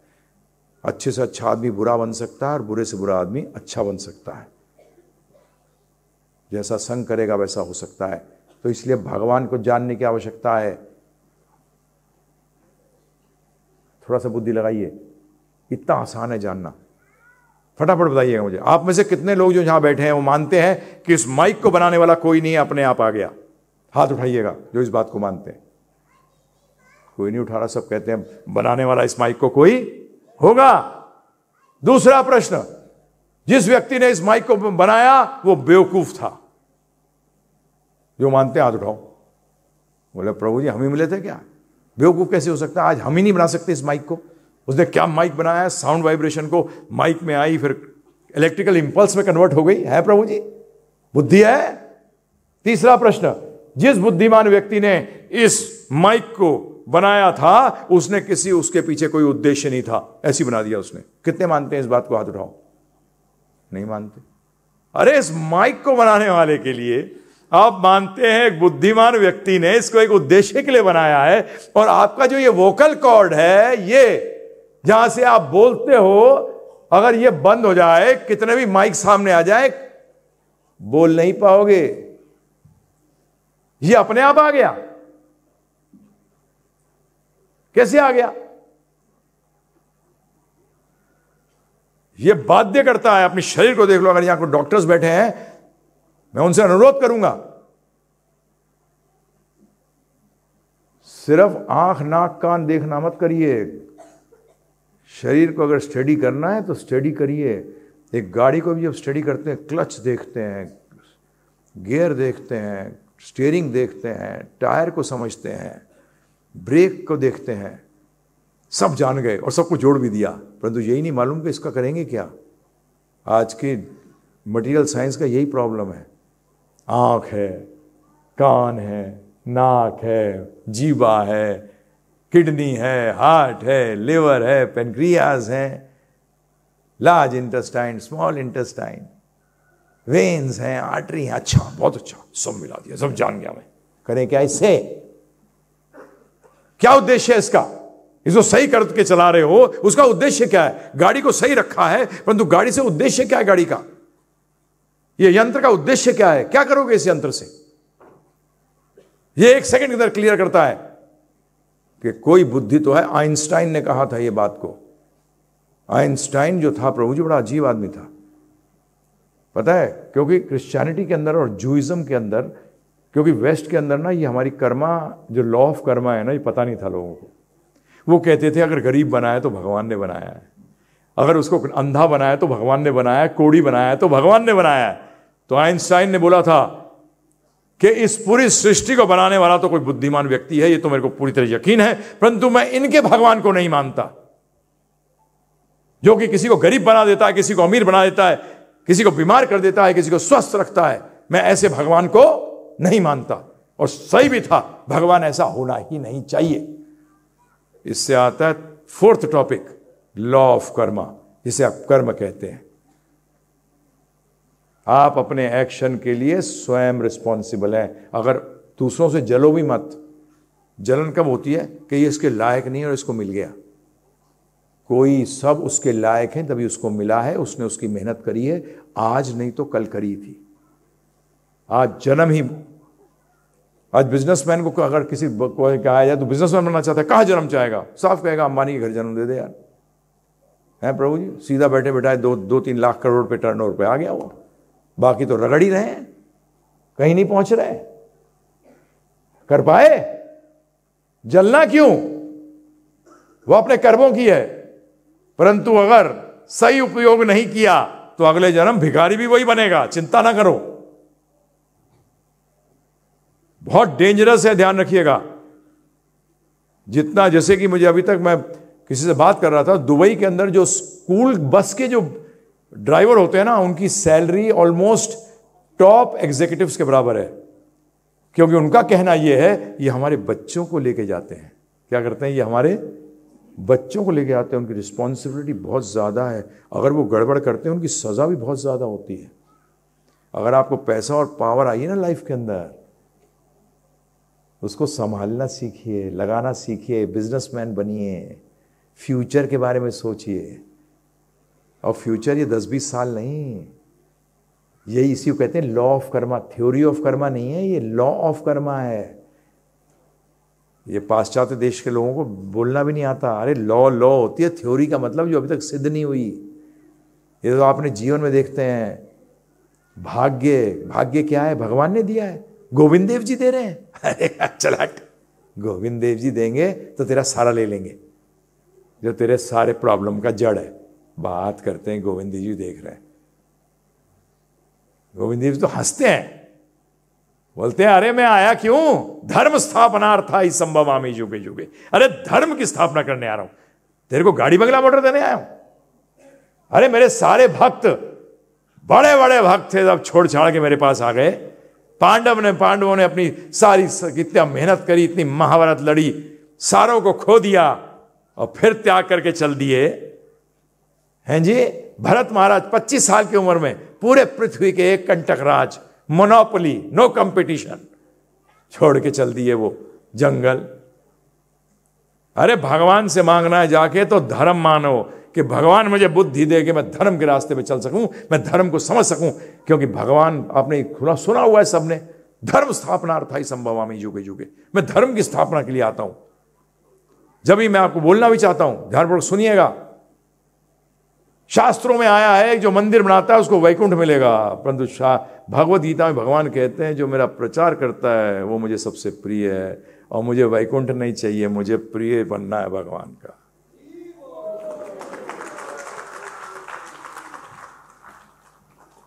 अरे स्मार्ट बनो, स्मार्ट। भगवानों को, भगवान को बेवकूफ़ नहीं पसंद। भगवान कहते हैं, बुद्धि दी है, जो प्रचार और प्रचार कार्य में सहायक होता है और मैं डंके की चोट पे कहता हूँ, मेरा कोई और उद्देश्य है ही नहीं। और गिव में भी मैंने सबको डिवोटिस को कह रखा है कि जो सीरियस हो, जो आईआईटी करना चाहता है अध्यात्म के अंदर उसी को लेके आना मुझे और नहीं चाहिए। मेरे गुरु महाराज का यही आज्ञा थी I don't want rascal stars I want moon मुझे चंद्रमा चाहिए, मुझे स्टार नहीं चाहिए। मुझे नहीं चाहिए दस लाख, पचास लाख, हज़ार, दस हज़ार लोग, दस करोड़ लोग, नहीं। हमारे गुरु महाराज ने कहा, अगर एक व्यक्ति को भी अगर तार सकूँ मैं तो मेरा जीवन सफल है। आज हमारा एक ही उद्देश्य है कि आप सनातन कुल में पैदा हुए हो, सनातन धर्म में पैदा हुए हो। सनातन धर्म क्या होता है उसको जानिए, समझिए और कर्म होते हैं तीन प्रकार के। एक कर्म कहते हैं पुण्य कर्म, एक को कहते हैं पाप कर्म और एक कर्म वो होता है जो आपको भगवत धाम अर्थों अपने घर लेके जाता है आपको। मैं सिंपल लैंग्वेज में समझा रहा हूँ आपको। फिर पाप पुण्य क्या है? आप ही बता दोगे दो मिनट के अंदर। जो भी कार्य आपको उद्देश्य प्राप्ति में विघ्न डाले, उसको पाप कहते हैं। और जो आपके उद्देश्य को प्राप्त करने में सहायक हो, उसको पुण्य कहते हैं। समझ में आया? इस ये पाप पुण्य की परिभाषा है। और भगवत धाम ले आने वाला कौन सा कर्म है? जो भगवान की आज्ञा के अनुसार किया जाता है, वो भगवत धाम ले आता है। पुण्य से क्या होता है? पुण्य से आपको अगले जन्म में छह ऐश्वर्य में से कोई ऐश्वर्य मिलेगा।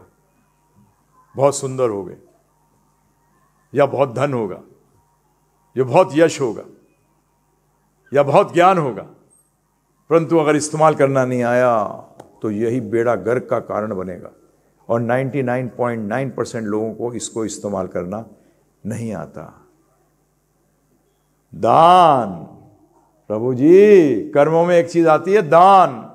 है आप दान में क्या देते हो? हंड्रेड परसेंट अपना शुद्ध पाप देते हो दान के अंदर। कैसा पाप प्रभु जी? शुद्ध। शुद्ध घी होता है ना? ऐसे शुद्ध पाप जाता है दान में। जब भी भगवान ने गीता में कहा है, पात्र को देख, गरीब को दान दो, सुख भी मिलेगा और दुख भी मिलेगा। दोनों चीज़ साथ साथ मिलेंगी। लड़का मिलेगा, बड़ा अच्छा होगा, बहुत बढ़िया, इतना सेवा करेगा और पैंतीस साल में मर जाएगा। क्या दे गया? सुख भी दे गया और दुख भी दे गया। भौतिक जगत में कोई भी दान, पात्र को देखो, गरीब को मत दो, ऐसे बर्बाद हो जाओगे क्योंकि गरीब को आप और गरीब बना रहे हो। उस तो अपना पाप तो सहन होता नहीं, आप अपना, उसका पाप अपने आप तो सहन होता नहीं, आपने और पाप दे दिया उसको। जब भी क्या कहा है? साई इतना दीजियो जिसमें कुटुंब समाए मैं भी भूखा ना जाऊँ और भिखारी या साधु ना भूखा जाए? भिखारी की तो बात ही नहीं है। साधु की बात करी गई है। मेरे से अभी कोई आया हुआ था, पीछे बात कर रहा था वहाँ, गोवर्धन में जब हम जहाँ बना रहे हैं मंदिर। मैंने देखो जी, इतना तो मैं गारंटी कर सकता हूँ कि तेरे पाप को मैं हजम कर लूँगा। इतना मैं गारंटी देता हूँ। क्योंकि मेरे मन के अंदर भगवान की प्रचार करने के सिवाय मेरा दूरा दूसरा कोई लक्ष्य ही नहीं है। इसलिए इतना गारंटी तो मैं देता हूँ आपको। बाकी देना दें उसका मुझे पता नहीं है, परंतु अपनी दूँ ना प्रभु जी, दूसरे की प्रोडक्ट की गारंटी कैसे दूँ प्रभु जी? हो सकता है और भी दे रहे हो, मुझे उससे कोई मतलब नहीं है।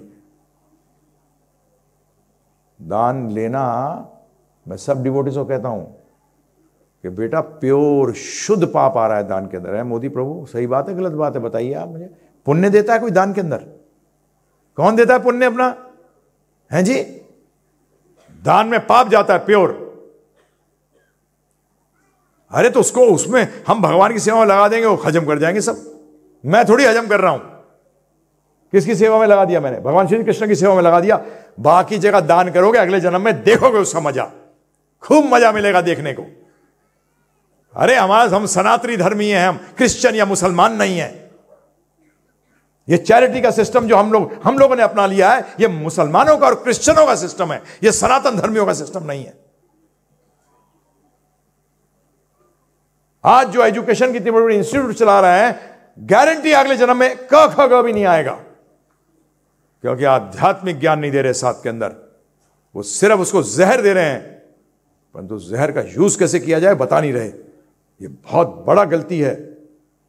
आप क्या सोचते हैं, ये प्राइम मिनिस्टर ये सब बैठे हैं, इनको क्या मिलेगा? भारत, ये हमारे भागवत कहता है, लीडर तो बन जाओ बेटा, परंतु लीडर बन के जो तुम्हारे नीचे, जो तुम्हारे लोग हैं उनका आधा पाप तुम्हें मिलेगा। परिवार में भी यही होगा। परिवार में पिता, लीडर होता है। पिता को भी फिफ्टी परसेंट जो उसके परिवार वाले जो पाप करते हैं, उसको भुगतना पड़ता है। ये मैं नहीं कह रहा हूँ, मैं बनाने वाला नहीं हूँ। ये ध्यान रखिएगा इमोशन से नहीं होता इमोशन से मोशन लग जाएँगे। हाँ, नहीं, नहीं मेरा तो बड़ा अच्छा हृदय था। अचार डालेगा? है प्रभु जी? हार्ट के बुरी तरह से पेशेंट वाले में जिसके पूरे आर्टरीज के अंदर भरा हुआ है कोलेस्ट्रॉल उसको बोलो घी खा रहा खिला रहा हूँ इसको मैं। प्योर घी लाता हूँ अपने गौशाला से खिलाता हूँ इसको। मेरा दिल बड़ा अच्छा है। अबे भाई साहब तेरे दिल के चक्कर में उसका दिल बंद हो जाएगा। थोड़ा तो सोचो। बुद्धि दी है भगवान ने। सबके पास बुद्धि है। और सनातन धर्म में जन्म हुआ है तो आपके अच्छे कर्म हैं। अच्छे नहीं, बहुत अच्छे कर्म है। चैतन्य महाप्रभु जो स्वयं राधा कृष्ण की जुगल जोड़ी हैं, उन्होंने कहा है, भारत भूमि ले हुए जन्मजात जिसका भारत भूमि में जन्म हुआ है, उसको अपना जीवन सार्थक करना चाहिए और सबका जीवन सार्थक करना चाहिए। और इसी के अंतर्गत आता है योग। योग का मतलब है आप सब जोड़ते हो। जीवन भर जोड़ते रहते हो। परंतु टेम्पररी चीज़ों को जोड़ने से क्या मिलेगा? सनातन जोड़ो। आप कहोगे, सब और सब ऐसे हो जाएँगे। देखिए, मुझसे ना ये फालतू बात मत करा फिर तो ये बात हुई, अगर सब रहीस बन जाएँगे तो क्या होगा? बनेगी नहीं कभी। बन ही नहीं सकते कभी। पॉसिबल ही नहीं है। क्योंकि जो पावर पोजीशन प्राप्त करने के बाद, ये छह ऐश्वर्य प्राप्त करने के बाद, अगर उसने भगवान की सेवा में लगाया तो अगले दिन में वो लोएस्ट लेडर में पैदा होगा। लोएस्ट अरे भरत महाराज, जैसे महाभागवत जरा जरा से बिदक गए, अगला जन्म हिरण का हो गया। कैसे गारंटी लेते हो प्रभु जी? कभी भी मृत्यु आ सकती है, किसी क्षण भी आ सकती है। इसी को कहते हैं काल। योग करो। गीता में भगवान ने कहा है, छठे अध्याय को पढ़ लेना अंतिम श्लोक। भगवान ने स्पष्ट रूप में कहा है, अर्जुन, समस्त योगियों में सबसे श्रेष्ठ वो है जिसका कि मेरे प्रति आसक्ति है, जो मेरी प्रेममयी भक्ति करता है। वो मुझे सबसे प्रिय है। उससे ना तो कोई प्रिय था, ना है, ना कभी होगा। ये भगवान का कथन है। सब कई मिलते हैं मुझे। नहीं नहीं अलग अलग रास्ते हैं। अरे कर्म योग से कैसे पहुँच सकता है? कर्म योग भगवान कृष्ण से पूरी तरह जुड़ा हुआ ही नहीं है। ज्ञान योग के अंदर आप सिर्फ़ जान रहे हैं। ध्यान योग में आप सिर्फ़ ध्यान लगा रहे हैं। भक्ति योग में आप कर्म भी कर रहे हो, आप ज्ञान भी ले रहे हो और ध्यान भी कर रहे हो और साथ में कर्म भी कर रहे हो भगवान कृष्ण की प्रसन्नता के लिए। अब आप ही बताइए कौन सा पूर्ण योग है? मैंने आपको दो मिनट बता दिया कि योगों के अंदर क्या क्या होता है। कर्म में श्रेष्ठ होता है निष्काम कर्म योग। अरे, उसमें जीना मुश्किल है प्रभु जी। कौन बैठा है यहाँ जो कहता है, निष्काम है? मेरे खुद का रिश्तेदार हैं, क्लोज हैं। आज उनकी पंद्रह हज़ार करोड़ की टर्नओवर है। ले गया था मैं आकाम को दिखाने उनका घर। ढाई सौ करोड़ का घर है। मुझसे कहते हैं, पुनर्जन्म होता है क्या? मैंने ये क्या देख रहे हो? अगले जन्म में सिक्योरिटी बनने की तैयारी रखो, अपने घर के सामने रहोगे, डंडा हिलाओगे। बोलते हैं, यार, तू तो ऐसे बोल देता है। मैंने तो? सत्य नहीं बताऊँगा, बीमार आदमी को नहीं बताऊँगा, कैंसर वाले को बोलूँगा, नहीं नहीं, तू तो मरेगा ही नहीं। फोर्थ स्टेज का कैंसर लेके घूम रहा है। कैसे नहीं मरेगा? आपको अच्छा ना लगे, वो बात अलग है प्रभु जी। ये मेरा काम नहीं है। मेरा काम नहीं देंगे मेरे को अच्छा नहीं देना आपको, अच्छे का रास्ता बताना है। गुरु आपको आनंद नहीं देता। आनंद प्राप्त करने का रास्ता दिखाता है। आप लोग गुरु को समझ लेते हो कि वो तो मिस्टिक पावर वाला है कोई। है? थोड़ा सा थोड़ा हार्ट जोन की विनती करता हूँ आप सबसे।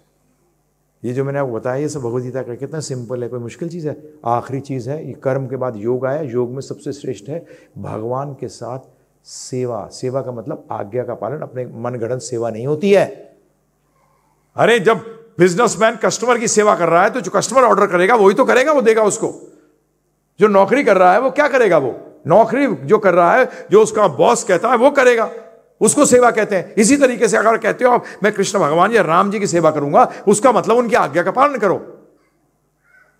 राम मंदिर बनाओ, कोई प्रॉब्लम नहीं है। मैंने तो कहा भी था टीवी के ऊपर। ना, राम मंदिर बना रहे हैं, बहुत बढ़िया। बोले, तुम राम मंदिर बनाओ, मैं राम राज्य लाऊँगा। कौन सा इंपॉर्टेंट है बताइए आप मुझे? हमारे देश में मंदिरों की कमी थी, नहीं थी, परंतु राम मंदिर अयोध्या बनना चाहिए, क्योंकि वहाँ उनका वो क्या है? जन्म स्थान नहीं है। वहाँ उन्होंने आविर्भाव लिया था। वो उतरे थे, आए थे। हमारे बीच में आते हैं। इसलिए वो हमारे लिए स्पेशल स्पॉट है। जन जन्म स्थान कृष्ण भगवान का स्पेशल है। परंतु उससे स्पेशल भगवान आते क्यों हैं? अब रावण बनोगे तो राम मंदिर बनेगा तो खूब ठोकेंगे आपको अच्छी तरह। है प्रभु जी, बुला तो लिया उनको। बोलिए मैं तीर चलाऊं कहाँ? बोले, कमी नहीं है तो सबके सब बदमाश बैठे हैं। करते हो कोई समय देते हो? हाँ जी, मैं पूजा करता हूँ। है? क्यों करता है? क्या है? मैं करना चाहिए तो बोल दिया कर भगवान ने तो कहीं नहीं कहा। भगवान ने तो कहा, जिज्ञासा कर। आता तो ब्रह्म जिज्ञासा। अब ये मनुष्य शरीर प्राप्त हुआ है सत्य की जिज्ञासा कर। ये कहते हैं, भगवान तो यार, तुम लोग कैसे सेवा करते हो? मुझे समझ नहीं आया आज तक। क्या ये इसको सेवा कहते हैं? जैसे मेरा छोटा भाई कई बार मज़ाक करता था मेरी नानी से। पैर दबा रहा होता था, नानी कहती, गला दर्द हो रहा है, दबा दूँ? सेवा ही है ना वो भी। परंतु उस सेवा में तो हरी बोल हो जाएँगी। यही हमारा हाल है। जहाँ मेरा दिल करेगा, वो मैं करूँगा। अरे, वो सेवा थोड़ी होती है। गुरु महाराज हमारे प्रभुपा जी कहते थे, मैं कह रहा हूँ, बेटा, पानी ला दे। नहीं नहीं जी, आपको तो मैं दूध ही पिलाऊँगा। अरे यार, पानी पिला दे। कमाल हो गया। इसीलिए योग करना है हमें, परंतु दिमाग लगा के ऐसा योग जो जन्म पर्यंत चलता रहे, जो खत्म ना हो, ऐसा योग करूँगा, ऐसे जुड़ूँगा मैं भगवान कृष्ण के साथ। ये असली योग है। और ध्यान रखना, जुड़ना प्रेम से बड़ा, दो जीवित में प्रेम ही सबसे बड़ा जोड़ना होता है और कुछ नहीं होता। तो उनसे प्रेम से जुड़ूँगा। समय निकालो, बाकी चीज़ें बकवास हैं। जो कर रहे हो, ठीक है, करो। कि भक्ति कर सकूँ। दान दो, सोच के दो। सबके पास लिमिटेड है। किसी के पास अनलिमिटेड नहीं है। क्रिश्चियन मुसलमानों की तरह मत करो। सनातन धर्मी बनो। आज ज़रूरत है विश्व को बचाना है तो सनातन धर्म की फिलॉसफी बचा सकती है। ये पुनर्जन्म का सिद्धांत, मैंने मेघवाल जी की साथ बात हुई थी मेरी, डेढ़ घंटे। मैंने उनको बताया था और उन्होंने एग्री किया था। जाते हुए बोला था कि इससे तो सारा टेररिज्म ख़त्म हो जाएगा। मैंने कहा, सोच ही भी चेंज हो जाएगी। आदमी को पता लग जाएगा कि मैं अपने कार्यों के लिए मैं खुद जिम्मेदार हूँ प्रभु जी। परंतु आपकी जो थ्योरी आप सबने फैला दी है one lifetime enjoy it ये बेड़ा गर्क कर देगी, सत्यानाश मार देगी पूरे विश्व का। आपके बच्चों का, आपके जनरेशन्स का जो आएँगे और आप लोग उसके लिए जिम्मेदार होगे। आप अपनी ज़िम्मेदारी नहीं छोड़ सकते, क्योंकि सबके सब माता, पिता, राजा, गुरु या स्वजन हैं। और गीत भागवत के अंदर साफ़ कहा गया है कि इनका कार्य है कि इन पे जो आश्रित हैं, इनके साथ जो जुड़े हुए हैं, वो उन पे, उनको भगवान कृष्ण के साथ प्रेम में जोड़ें। तो इसलिए, और काल, जो मैंने बताया था ना, एक दिन में सुबह कमाया शाम को चला गया। आपके पास तो हमारे पास तो उतना समय भी नहीं है। मैं अगर आपसे पूछूँ, प्रभु जी, क्या उम्र हो गई आपकी? हाँ बोलिए। Forty eight. शादी कब हुई थी? पंद्रह साल। कैसे निकल गए? निकल गए? ऐसे निकल गए पंद्रह साल। चार पाँच चुटकियों में पचहत्तर साल निकल गए। और जो और बुज़ुर्ग हैं, उनसे पूछिए, समय कैसे निकला है? चुटकी में निकला है, अरे एक दिन का भी समय नहीं है, चुटकियों में जीवन समाप्त होता है, जो क्या आ रहा है इकतीस दिसंबर क्या आ रहा है प्रभु बेवकूफ़ खुशी मनाएँगे कि सारे मैंने साल बर्बाद कर दिया, इसलिए हम खुशी मना रहे हैं। मूर्ख। बर्थडे कंटेम्पलेशन के लिए मनन करूँ कि मैंने पिछले साल से इस साल मैंने आत्मा की जो प्रकृति है, अर्थात जो मेरी प्रकृति है, उसके लिए मैंने क्या किया? उसके लिए मैंने क्या किया? सोचते हैं, बैठते हैं, विचार करते हैं। नहीं जी, समय नहीं है। वो तेरे की अपने लिए ही समय नहीं है। तो इसलिए प्रभु जी, काल ऐसे निकलता है, ऐसे। मृत्यु भी ऐसे आ जाएगी। मैं सब, जो मेरे साथ डिवोटीज हैं, वहाँ बोलता हूँ, एक दिन आएगा, मेरे नाक में रुई लगाई होगी। मेरे को भी जाना है। मेरा इसमें कोई भ्रम नहीं है। कोई भ्रम नहीं है। परंतु मैं ज़ीरो होके नहीं जाना चाहता। क्योंकि प्रगति सिर्फ़ आध्यात्म में होती है, बाकी जगह तो दिवालिया निकलता है सबका। आज तक कौन कोई लेके गया है कुछ भी? सब दिवालिया होके गए हैं मेटीरियल वर्ल्ड में। प्रोग्रेस होती है सिर्फ़ आध्यात्म में, और उसमें आप प्रोग्रेस करते नहीं हो। वाह! चूरण के नोट इकट्ठे करते रहे पूरे जीवन। क्या वैल्यू है? असली नोट को छोड़ देते थे अच्छा नहीं लगता, बड़ा टाइम लगता है। असली नोट में टाइम लगेगा, नहीं लगेगा, प्रभु जी? चोरों के नोट तो बड़े आराम से मिल जाएँगे। खूब! परंतु असली नोट के लिए मेहनत करनी पड़ेगी। इसी तरीके से आपको ये मनुष्य शरीर मिला है। इसको सिर्फ़ खाने, सोने, बच्चे पैदा करने और बचाव करने में मत निकालिए। मनुष्य का एक ही एक्स्ट्रा इंटेलिजेंस जो मिला है, धर्म ही ना ते पशु भी समाना। और धर्म का मतलब है, ये अभी पाँच चीज़ों की जो चर्चा करी मैंने। मैं कौन? प्रकृति क्या? कहाँ का हूँ मैं? कहाँ आया हूँ? तीसरा, कर्म क्या है? क्या फंसाता है? क्या बंधन से मुक्त करता है? क्या मुझे वैकुंठ लेके जाएगा? क्या मुझे कुंठा में फंसा देगा? कुंठा का मतलब होता है कुंठित। कुंठित का मतलब होता है दुख। इस दुखी संसार में फंसा के रखेगा। चौथा, कर्म क्या है? योग क्या है? और पांचवा, काल। पांचवा क्या? काल। भगवान इसमें मेन आ गए कि उन्होंने सृष्टि रचना क्यों की? हमारे को दुख देने के लिए नहीं करी। हमारी इच्छा पूरी करने करने के लिए करी। कई बार लोग सोचते हैं अरे मज़ाक कर लूँ ना थोड़ा सा भगवान कहते हैं। ट्राई कर ले। बना दिया ये। ट्राई कर ले। ये जेल है क्योंकि मुक्ति चाह रहे हैं। जहाँ बंधन होता है उस जगह को जेल कहते हैं। इसीलिए हम जेल नहीं कहते। हाँ, हकीकत के अंदर जेल होता है गलत वर्ड है रिफॉर्मेटरी सुधार घर। क्या होता है प्रभु जी? सुधार घर कहा जाता है उसको। सुधारने हम सुधरने के लिए आए हैं यहाँ। तो बचपन से हेल्प करो ये भागवत ऐसी थोड़ी बन गया। कैसे आप सोचते हो भागवत ऐसी आ गया? हैं जी? कई बार लोग कहते हैं, हमें भागवत जैसा पुत्र चाहिए। पहले बेटा पेरेंट तो सही बन। नीम का पेड़ कह रहा है, मुझे आम देने। कैसे देगा? है प्रभु जी? बड़े फ़ोन आते हैं, और ऐसे बेवकूफ़ सनातन धर्मी सनातन धर्मी है नहीं। अरे भागवत तो भगवान है। भागवत तो लड्डू गोपाल है। अबे गधे कहीं के, वो भागवत दास है। हम लोग किसी को भी भगवान बोलते हैं। किसी को भी। कोई भगवान नहीं है। भगवान सिर्फ़ कृष्ण या राम है या विष्णु है। और कोई भगवान नहीं है। सब भगवान के दास हैं। लड़की घर में आएगी, लक्ष्मी जी आ गई। अरे मूर्ख, बोल, लक्ष्मी की दासी आई है। लक्ष्मी आ गई। तो ये लक्ष्मी ले जाएगी सब। अभी हुआ हमारे साथ। मैं दिल्ली गया हुआ था, हमारे पास मिलने आया एक व्यक्ति। वो ऑनलाइन क्लासेस चलाता है, उसके दस हज़ार टीचर्स हैं उसके पास। लड़की लड़के की शादी हुई। लड़की ने एक महीने तक इतना बढ़िया किया घर के अंदर कार्य, और सब लुट गए, बोलते, अरे, हमारे तो घर में वैकुंठ हो गया। और इकतीसवें दिन गाड़ी लेके भाग गई। रो रहा वो। बोलते, हमें तो लगा हमारा तो जीवन ही सुधर गया। क्या हो गया? मैंने, बेटा, इस मेटीरियल में किसी से एक्सपेक्ट मत करो। बड़े खुश रहोगे। जब एक्सपेक्ट करोगे तो हंड्रेड परसेंट रहोगे एक्सपेक्ट करो किससे? भगवान से, कि मुझे भक्ति दे दो। यहाँ तो सारे रिश्ते कर्मों का फल है लेन देन के रिश्ते हैं। इसलिए मैं आप सबसे हाथ जोड़कर विनती करता हूँ कि आज इस दिन गीता का दिन है।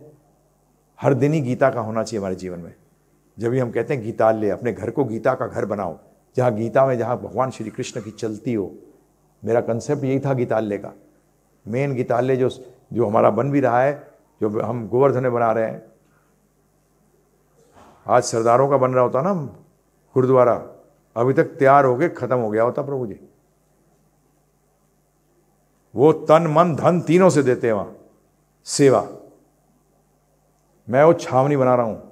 कि भागवत तो देखा है, मैं ऐसे बनाना चाहता हूँ। इस तरीके के मैं डिवोटी चाहता हूँ, जो कि सनातन धर्म को सही तरह हम तक पहुंचाएँ जन जन तक पहुंचाएँ, उनको जीवन का लक्ष्य बताएँ, उनको जीवन का उद्देश्य बताएँ। इसके लिए मैं चाहता हूँ कि आप भी जुड़िए। तन, मन, धन तीनों से। अरे, कोई भी चीज़ को सक्सेसफुल करने के लिए तीन चीज़ों की ज़रूरत होती है। मैं मैनेजमेंट का आदमी हूँ। Land man power and money आज हमारे बीच में सुरेश पोदार जी बैठे हैं। लैंड इनकी तरफ़ से आ गया है। मनी भी दे रहे हैं। मैन पावर हमने अपना जीवन दे दिया हम लोगों ने। आप भी फ़ायदा उठा लो। ये एफडी जो है ना ये सनातन एफडी है। बैंक की तो खत्म हो जाएगी, बीवी लेके भाग जाएगी। बच्चे बर्बाद कर देंगे। परंतु ये ऐसी एफडी है जो जन्म, जन्मांतर चलेगी। मैं बच्चों को बता रहा था अभी कल ही। शिष्य जो थे, उनको बता रहा था, मैंने कहा, ध्यान रखना, ये मंदिर बन नहीं रहा, क्योंकि भगवान की कोई चीज़ बना नहीं करती। मोदी प्रभु, ध्यान से सुनिएगा। सुरेश जी, सुनिएगा। ये इसको कहते हैं, ये मैनिफेस्ट हो रहा है। उसका मतलब ये है, ये ऑलरेडी है। हम जैसे बच्चों की पेंटिंग देखते थे ना, फिर बच्चे को पेंटिंग आती है जिसे बच्चा सिर्फ़ पानी फेरता है उसके ऊपर और अंदर से कलर निकल के आते हैं। ये तो बना हुआ है। ये तो बना हुआ है आपको तो सिर्फ़ उसमें आपकी हेल्प को भगवान कह रहे हैं, चल इसकी सेवा ले लेते हैं, इसको भी तार दूँगा। नहीं तो भगवान का काम रुका है कभी? बताइए आप मुझे। हमें सेवा का मौका दे दिया, इससे बड़ी बात क्या हो सकती है? आप जानते नहीं, मैं तो कर्मा कई बार बोलता पता नहीं किसकी कृपा हो गई कि ये हमें बनाने के लिए, भगवान ने इसको उजागर करने के लिए। मैनिफेस्ट का मतलब क्या होता है? उजागर, मंदिर बना नहीं करते, जो बनाता है, वो मंदिर खत्म होता है। ये मंदिर बन नहीं रहा है, ये उजागर हो रहा है। ये था, है और रहेगा।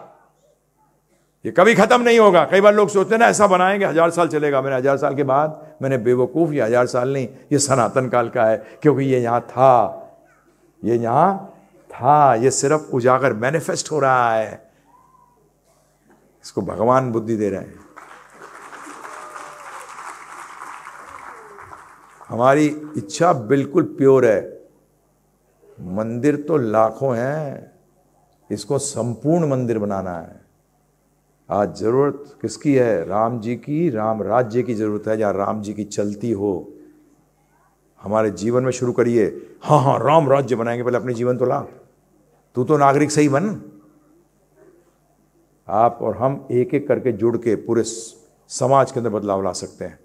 शुरू करिए, क्यों अपने बच्चों के लिए और आगों की हाय लेते हो?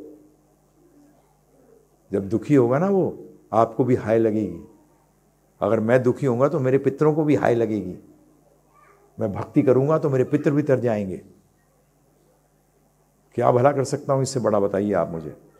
और आज चाहिए जो लोग डेडिकेटेड हो, मेरे गुरु महाराज प्रभुपाद की तरह एकदम टोटली डेडिकेटेड हैं कि हमें सनातन धर्म को पूरे विश्व में फैलाना है। और उसमें आप दुश्मनी नहीं कर सकते किसी से, क्योंकि हो सकता है, ध्यान रखिएगा, किसी के प्रति दुश्मनी करेंगे, अगला जन्म आपको उसी जगह होगा, जब भी हमारे साथ कई आर्मी वाले जुड़े हुए हैं, जो चाइना और पाकिस्तान बॉर्डर पे भी हैं। बोलते हैं, प्रभु जी, हम तो कभी भी गोली लग सकती है हमें, मर जाएँगे, क्या सोचते हो मरे? मैंने करना तो चाइना वाले को दुश्मन समझना ना पाकिस्तान वाले को।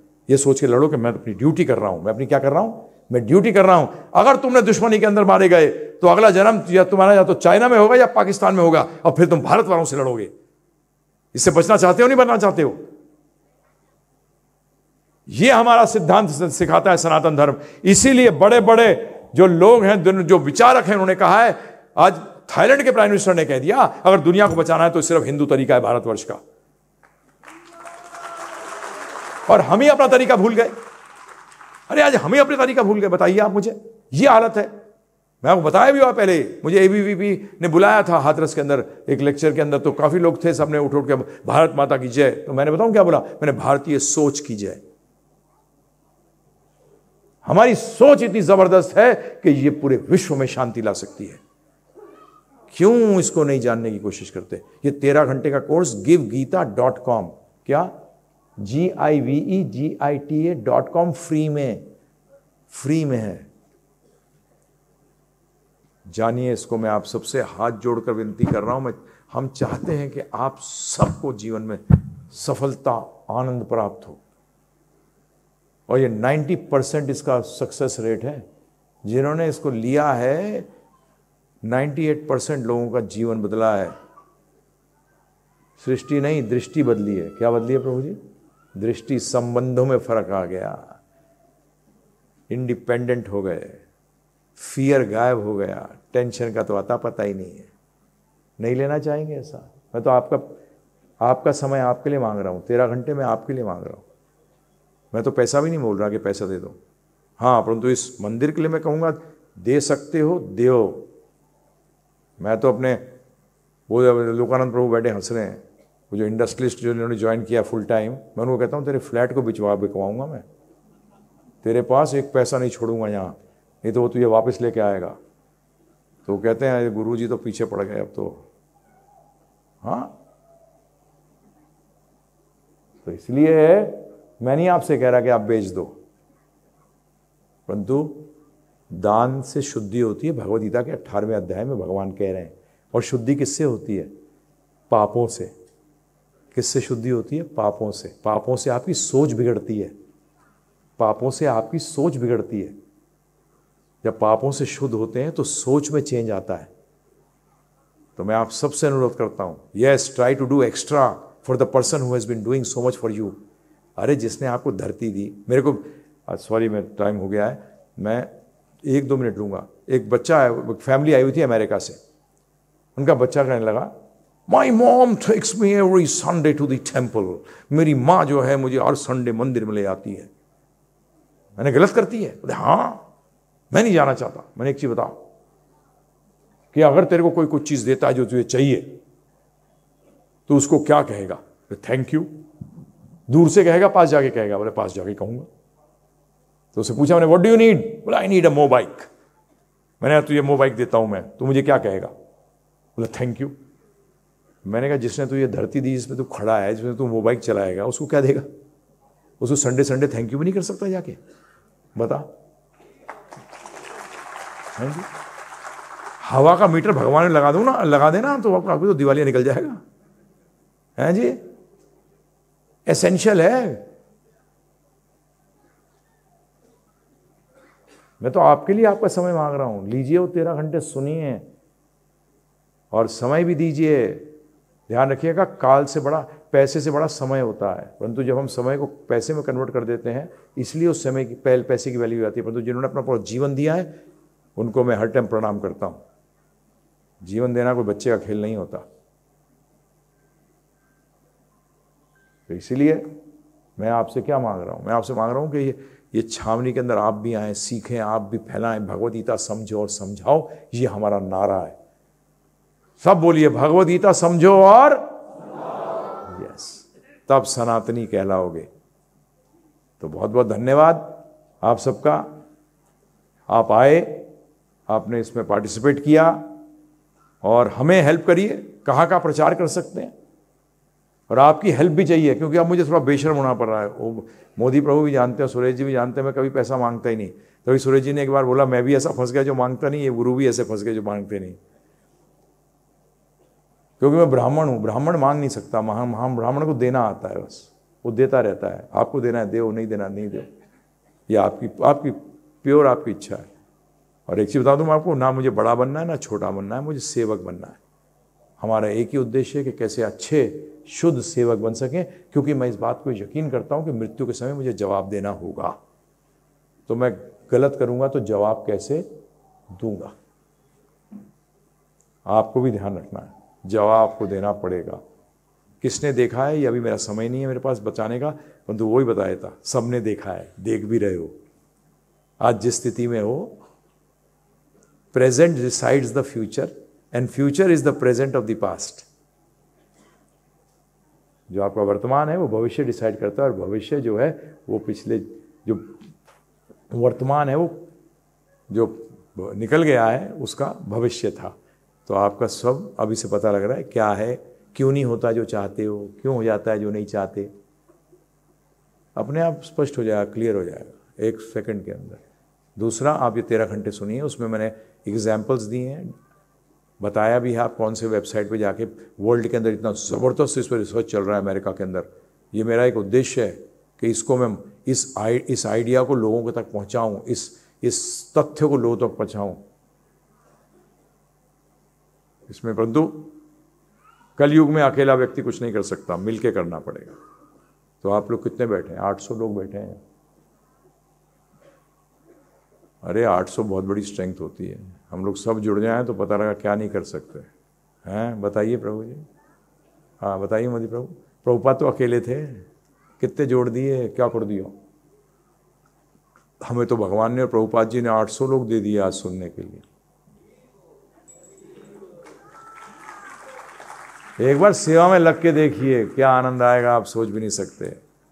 तो इसी के साथ फिर से एक बार आपका धन्यवाद करते हुए प्रार्थना करते हुए भगवान से कि आपको शक्ति दें। हरे कृष्णा।